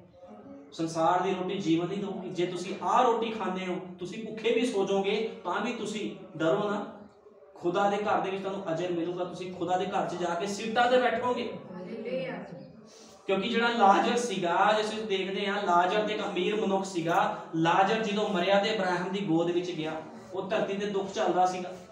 ਲੇਕਿਨ ਜਿਹੜਾ ਅਮੀਰ ਮਨੁੱਖ ਸੀਗਾ ਉਹ ਵੀ ਦੱਬਿਆ ਗਿਆ ਤੇ ਉਹ ਵੀ ਦੱਬਿਆ ਗਿਆ। ਲੇਕਿਨ ਉਹ ਕਿੱਥੇ ਗਿਆ ਅਮੀਰ ਮਨੁੱਖ? ਨਰਕ ਵਿੱਚ ਚਲਾ ਗਿਆ। ਕਿਉਂ ਕਹਿੰਦਾ ਸੀ, ਇਬਰਾਹਿਮ ਪਿਤਾ ਪੁਕਾਰਦਾ ਸੀਗਾ। ਕਹਿੰਦਾ, ਉਂਗਲੀ ਤੱਕ ਤੁਪਕਾ ਕਹਿੰਦਾ, ਲਾ ਮੇਰੀ ਜ਼ਬਾਨ ਤੇ ਲਾ ਦੇ। ਕਹਿੰਦਾ, ਮੈਨੂੰ ਤਰਪਟਾ ਦੇ ਕਹਿੰਦਾ ਹੁਣ ਤੇਰਾ ਸਮਾਂ ਖਤਮ। ਜਦੋਂ ਤੱਕ ਤੁਹਾਡੇ ਵਿੱਚ ਸਾਹ ਪ੍ਰਾਣਾ, ਇਹ ਨਾ ਸੋਚੋ, ਕਮਾਂਡ ਨਾ ਕਰੋ ਵੀ ਮੈਂ ਅੱਜ ਨਹੀਂ ਕੱਲ ਸੁਧਰ ਜਾਊਂਗਾ, ਸੁਧਰ ਜਾਊਂਗੀ। ਜੇ ਅੱਜ ਹੀ ਤੁਹਾਡੇ ਪ੍ਰਾਣ ਨਿਕਲ ਜਾਣ, ਤੁਸੀਂ ਕੀ ਕਰੋਗੇ? ਲੋਕੀ ਇਸੇ ਭੁਲੇਖੇ ਵਿੱਚ ਆ ਵੀ ਸ਼ਾਇਦ ਅਸੀਂ ਮਰਨਾ ਨਹੀਂ ਆ। ਮੈਂ ਕਿਸੇ ਦਾ ਫੋਨ ਤੇ ਗੱਲ ਕਰ ਰਿਹਾ ਸੀ, ਮਨੁੱਖ ਕਿੰਨਾ ਕੁ ਟਾਈਮ ਜੀ ਲੂਗਾ 20 ਸਾਲ 50 ਸਾਲ 100 ਸਾਲ 150 ਸਾਲ ਕਿੰਨਾ ਕੁ ਸਾਲ ਜੀ ਲੂਗਾ ਫਿਰ ਕੀ ਕਰੂਗਾ? ਮਰਨਾ ਨਹੀਂ ਆ। ਖੁਦਾ ਦੇ ਕੋਲ ਜਾ ਕੇ ਕੀ ਕਹੂਗਾ? ਯੀਸ਼ੂ ਮਸੀਹ ਨੂੰ ਛੱਡ ਕੇ ਕਿਸੇ ਨੇ ਵੀ ਮੌਤ ਤੇ ਫਤਿਹ ਨਹੀਂ ਪਾਈ। ਲੇਕਿਨ ਉਹਦੇ ਪਵਿੱਤਰ ਲੋਕ ਕਦੇ ਮਰਦੇ ਨਹੀਂ ਆ। ਉਹ ਸੌਂਦੇ ਆ, ਬਾਈਬਲ ਬਿਆਨ ਕਰਦੀ, ਜਿੰਨੇ ਸੰਤ ਆ ਮਰੇ ਨਹੀਂ ਆ, ਸੁੱਤੇ ਪਏ ਆ। ਤੇ ਇੱਕ ਦਿਨ ਜਦੋਂ ਯੀਸ਼ੂ ਮਸੀਹ ਆਵੇਗਾ, ਉਹ ਦੁਬਾਰਾ ਖੜੇ ਹੋ ਜਾਣਗੇ। ਤੇ ਸਾਨੂੰ ਵੀ ਚਾਹੀਦਾ ਆ, ਉਹਦੇ ਵਚਨ ਦੇ ਅਨਸਾਰ ਜੀਵਨ ਨੂੰ ਬਤੀਤ ਕਰੀਏ। ਹੁਣ ਬਾਈਬਲ ਕੀ ਬਿਆਨ ਕਰਦੀ? ਯਹੂਨਾ 1 ਦੀ 1 ਅਸੀਂ ਪੜ੍ਹਦੇ ਆ ਯਹੂਨਾ 1 ਦੀ 1 ਵਿੱਚ ਕੀ ਲਿਖਿਆ ਆ? ਯਹੂਨਾ 1 ਦੀ 1 ਵਿੱਚ ਆਦ ਵਿੱਚ ਸ਼ਬਦ ਸੀ ਅਤੇ ਸ਼ਬਦ ਪਰਮੇਸ਼ਵਰ ਦੇ ਸੰਗ ਸੀ ਅਤੇ ਸ਼ਬਦ ਹੀ ਪਰਮੇਸ਼ਵਰ ਸੀਗਾ। ਕਹਿੰਦਾ ਆਦ ਵਿੱਚ ਸ਼ਬਦ ਸੀ ਅਤੇ ਸ਼ਬਦ ਪਰਮੇਸ਼ਵਰ ਦੇ ਸੰਗ ਸੀ ਅਤੇ ਸ਼ਬਦ ਪਰਮੇਸ਼ਵਰ ਸੀ, ਇਹੋ ਆਦ ਵਿੱਚ ਪਰਮੇਸ਼ਵਰ ਦੇ ਸੰਗ ਸੀ। ਸਭੋ ਕੁਝ ਉਸ ਤੋਂ ਰਚਿਆ ਗਿਆ ਅਤੇ ਰਚਨਾ ਵਿੱਚੋਂ ਇੱਕ ਵੀ ਵਸਤੂ ਉਸ ਤੋਂ ਬਿਨਾ ਨਹੀਂ ਰਚੀ ਗਈ। ਕਹਿੰਦਾ ਉਹ ਜੀਵਨ ਸੀ ਅਤੇ ਜੀਵਨ ਇਨਸਾਨ ਦਾ ਚਾਨਣ ਸੀ ਅਤੇ ਉਹ ਚਾਨਣ ਹਨੇਰੇ ਵਿੱਚ ਚਮਕਦਾ ਹੈ, ਪਰ ਹਨੇਰੇ ਨੇ ਉਸ ਨੂੰ ਨਾ ਬੁਝਾਇਆ। ਅੱਜ ਕੀ ਆ, ਯੀਸ਼ੂ ਮਸੀਹ ਕੌਣ ਸੀਗਾ? ਸ਼ਬਦ ਸੀਗਾ। ਹੁਣ ਮੈਂ ਤੁਹਾਨੂੰ ਦੱਸਦਾ, ਮੈਂ ਇਸ ਸਥਾਨ ਦੇ ਵਿੱਚ ਖੜਾ ਆ ਮੈਂ ਕਿਸੇ ਨੂੰ ਆਵਾਜ਼ ਲਗਾ ਰਿਹਾ। ਕੀ ਮੇਰੀ ਆਵਾਜ਼ ਤੇ ਮੈਂ ਅਲੱਗ ਅਲੱਗ ਹਾਂ? ਮੇਰੀ ਆਵਾਜ਼ ਤੇ ਮੈਂ ਇੱਕੋ ਹੀ ਹਾਂ। ਇਸੇ ਤਰ੍ਹਾਂ ਯੀਸ਼ੂ ਮਸੀਹ ਸੀਗਾ। ਯੀਸ਼ੂ ਮਸੀਹ ਇਸੇ ਤਰ੍ਹਾਂ ਸੀਗਾ। ਉਹ ਸ਼ਬਦ ਸੀਗਾ ਤੇ ਸ਼ਬਦ ਕੀ ਹੋਇਆ? ਦੇਹਧਾਰੀ ਹੋ ਗਿਆ ਤੇ ਦੇਹਧਾਰੀ ਹੋ ਕੇ ਮਨੁੱਖਾਂ ਵਿੱਚ ਆਇਆ। ਪਰਮੇਸ਼ਵਰ ਇੱਕੋ ਹੀ ਹੁੰਦਾ। ਪਰਮੇਸ਼ਵਰ ਦੋ ਜਾਂ ਤਿੰਨ ਨਹੀਂ ਹੁੰਦੇ। ਇੱਕੋ ਹੀ ਖੁਦਾ ਆ ਜਿਹਦੀ ਅਸੀਂ ਉਪਾਸਨਾ ਕਰਦੇ ਹਾਂ। ਅਸੀਂ ਇੱਕੋ ਦੀ ਉਪਾਸਨਾ ਕਰਦੇ, ਉਹ ਹੋਣਾ ਅਨੰਤ ਕਾਲ ਦਾ ਪਿਤਾ ਤੇ ਸਭ ਕੁਝ ਉਸ ਤੋਂ ਦੁਆਰਾ ਰਚਿਆ ਗਿਆ। ਕਹਿੰਦਾ ਉਹ ਜਗਤ ਵਿੱਚ ਸੀ ਅਤੇ ਜਗਤ ਉਸ ਤੋਂ ਰਚਿਆ ਗਿਆ, ਪਰ ਜਗਤ ਨੇ ਉਸ ਨੂੰ ਨਾ ਪਛਾਣਿਆ। ਹੁਣ ਕੀ ਹੈ? ਜਗਤ ਕਿਹਦੇ ਦੁਆਰਾ ਰਚਿਆ ਗਿਆ? ਯੀਸ਼ੂ ਮਸੀਹ ਦੁਆਰਾ। ਉਸ ਲਗੋਸ਼ ਦੇ ਦੁਆਰਾ। ਉਸ ਵਚਨ ਦੇ ਦੁਆਰਾ ਜਿਹੜਾ ਧਰਤੀ ਤੇ ਆਇਆ, ਜਿਹਨੇ ਮਾਰ ਖਾਦੀ ਕਿਲੇ ਉਹਦੇ ਹੱਥਾਂ ਪੈਰਾਂ 'ਚ ਠੁੱਕ ਗਏ ਉਹਦੇ ਦੁਆਰਾ ਹੀ ਸੰਸਾਰ ਬਣਿਆ, ਲੋਕ ਬਣੇ ਆ ਤੇ ਉਹਨਾਂ ਨੇ ਪਛਾਣਿਆ ਹੀ ਨਹੀਂ ਕਿਉਂਕਿ ਯੀਸ਼ੂ ਮਸੀਹ ਇੰਨੀ ਸਧਾਰਨਤਾਈ ਦੇ ਵਿੱਚ ਆ ਗਿਆ ਵੀ ਉਹ ਕਿੱਥੇ ਲੁਕ ਗਿਆ ਆ ਕੇ? ਆਪਣੇ ਵਚਨ ਦੇ ਵਿੱਚ ਲੁਕ ਗਿਆ ਯੀਸ਼ੂ ਮਸੀਹ ਆ ਕੇ। ਤੁਹਾਨੂੰ ਪਤਾ ਯੀਸ਼ੂ ਮਸੀਹ ਭੀੜਾਂ ਵਿੱਚ ਨਹੀਂ ਹੁੰਦਾ। ਯੀਸ਼ੂ ਮਸੀਹ ਕਿੱਥੇ ਹੁੰਦਾ? ਯੀਸ਼ੂ ਮਸੀਹ ਹਮੇਸ਼ਾ ਹੀ ਆਪਣੇ ਵਚਨ ਦੇ ਵਿੱਚ ਹੁੰਦਾ। ਜਿੱਥੇ ਯੀਸ਼ੂ ਮਸੀਹ ਦਾ ਵਚਨ ਆ, ਉੱਥੇ ਦੋ ਜਾਂ ਤਿੰਨ ਵੀ ਉਹਦੇ ਨਾਮ 'ਚ ਇਕੱਠੇ ਆ ਤੇ ਉਹ ਹਾਜ਼ਰ ਆ। ਇਸ ਤਰ੍ਹਾਂ ਨਹੀਂ ਵੀ ਇੱਥੇ ਬੜੀ ਭੀੜ ਲੱਗ ਜਾਵੇ ਤੇ ਤਾਂ ਉਹ ਹਾਜ਼ਰ ਆ।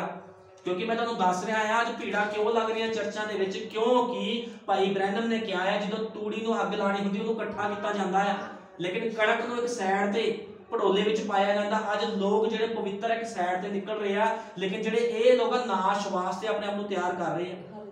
ਸਾਰਾ ਸਿਸਟਮ ਲੋਕਾਂ ਨੇ ਗਲਤ ਕਰਤਾ ਆ। ਸਾਰਾ ਸਿਸਟਮ ਸ਼ੈਤਾਨ ਵੱਲੋਂ ਗਲਤ ਕਰ ਦਿੱਤਾ ਗਿਆ। ਲੋਕਾਂ ਨੂੰ ਸਮਝ ਨਹੀਂ ਆ, ਵਚਨ ਦੀ, ਵੀ ਕਿਸ ਤਰ੍ਹਾਂ ਚੱਲਣਾ ਆ। ਬਾ ਨਬੀ ਕਹਿੰਦਾ ਇਹਨਾਂ ਨੂੰ ਤਾਂ ਏ ਬੀ ਸੀ ਡੀ ਵੀ ਨਹੀਂ ਪਤਾ। ਤੁਸੀਂ ਇਹਨਾਂ ਦੀ ਕੀ ਗੱਲਾਂ ਸੁਣਦੇ? ਅਸੀਂ ਦੇਖਦੇ ਜੀ ਬੜੇ ਵੱਡੇ ਛੰਬੇ ਕਰ ਰਿਹਾ। ਬੜਾ ਵੱਡਾ ਉਹਨੇ ਲੰਗੜਾ ਸਹੀ ਕਰਤਾ, ਉਹਨੇ ਅੰਨਾ ਸਹੀ ਕਰਤਾ। ਉਹ ਖੁਦਾ ਦੀ ਸਾਮਰਥ ਆ। ਅੰਨਾ ਲੰਗੜਾ ਸਹੀ ਹੋ ਗਿਆ, ਮਰੂਗਾ ਨਹੀਂ। ਜੇ ਲਾਜ਼ਰ ਨੂੰ ਜਿੰਦਾ ਕੀਤਾ ਸੀ ਯਿਸੂ ਮਸੀਹ ਨੇ, ਤੇ ਕੀ ਲਾਜ਼ਰ ਦੁਆਰਾ ਮਰਿਆ ਨਹੀਂ? ਲਾਜ਼ਰ ਦੁਆਰਾ ਮਰਿਆ। ਜੇ ਅੱਜ ਅਸੀਂ ਕੁਝ ਵੀ ਕਰਦੇ ਆ ਉਹ ਕੀ ਆ? ਖੁਦਾ ਕੀ ਕਰਦਾ? ਕੁੰਡੀ ਲਾਉਂਦਾ, ਜਦੋਂ ਮੱਛੀ ਫੜਨ ਲਈ ਕੋਈ ਕੁੰਡੀ ਲਾਉਂਦਾ, ਖੁਦਾ ਨੇ ਆਪਣੇ ਲੋਕਾਂ ਨੂੰ ਖਿੱਚਣ ਲਈ ਕੁੰਡੀ ਲਾਈ ਆ। ਚੰਗਿਆਈ ਲੈ ਲਓ, ਬਰਕਤਾਂ ਲੈ ਲਓ। ਲੇਕਿਨ ਜਿਹੜੇ ਉਹਦੇ ਲੋਕ ਆ, ਉਹ ਬਰਕਤਾਂ ਚੰਗਿਆਈਆਂ ਨੂੰ ਨਹੀਂ ਦੇਖਦੇ, ਉਹ ਖੁਦਾ ਦੇ ਵਚਨ ਨੂੰ ਦੇਖਦੇ ਆ। ਕਿਉਂਕਿ ਜਿਹਦੇ ਕੋਲ ਖੁਦਾ ਦਾ ਵਚਨ ਆ, ਤੇ ਖੁਦਾ ਉਹਨੂੰ ਬਚਾ ਨਹੀਂ ਸਕਦਾ। ਜਿਹਦੇ ਕੋਲ ਖੁਦਾ ਦਾ ਸੱਚਾ ਵਚਨ ਆ, ਖੁਦਾ ਉਹਦੀ ਉਮਰ ਵੀ ਵਧਾ ਸਕਦਾ, ਉਹਨੂੰ ਬਿਮਾਰੀ ਤੋਂ ਛੁਟਕਾਰਾ ਵੀ ਦੇ ਸਕਦਾ, ਸਭ ਕੁਝ ਕਰ ਸਕਦਾ ਆ। ਇਸ ਕਰਕੇ ਸਾਨੂੰ ਕੀ ਲੋੜ ਆ? ਖੁਦਾ ਦੇ ਵਚਨ ਵੱਲ ਮਨਨ ਕਰੀਏ, ਉਹਦੇ ਸੱਚੇ ਵਚਨ ਦੇ ਅਨੁਸਾਰ ਚੱਲੀਏ, ਉਹਦਾ ਵਚਨ ਕਹਿੰਦਾ ਕੀ ਆ ਸਾਨੂੰ? ਅਮੋਸ ਕੱਢਾਂਗੇ, ਅਮੋਸ 3 ਦੀ 6 ਅਮੋਸ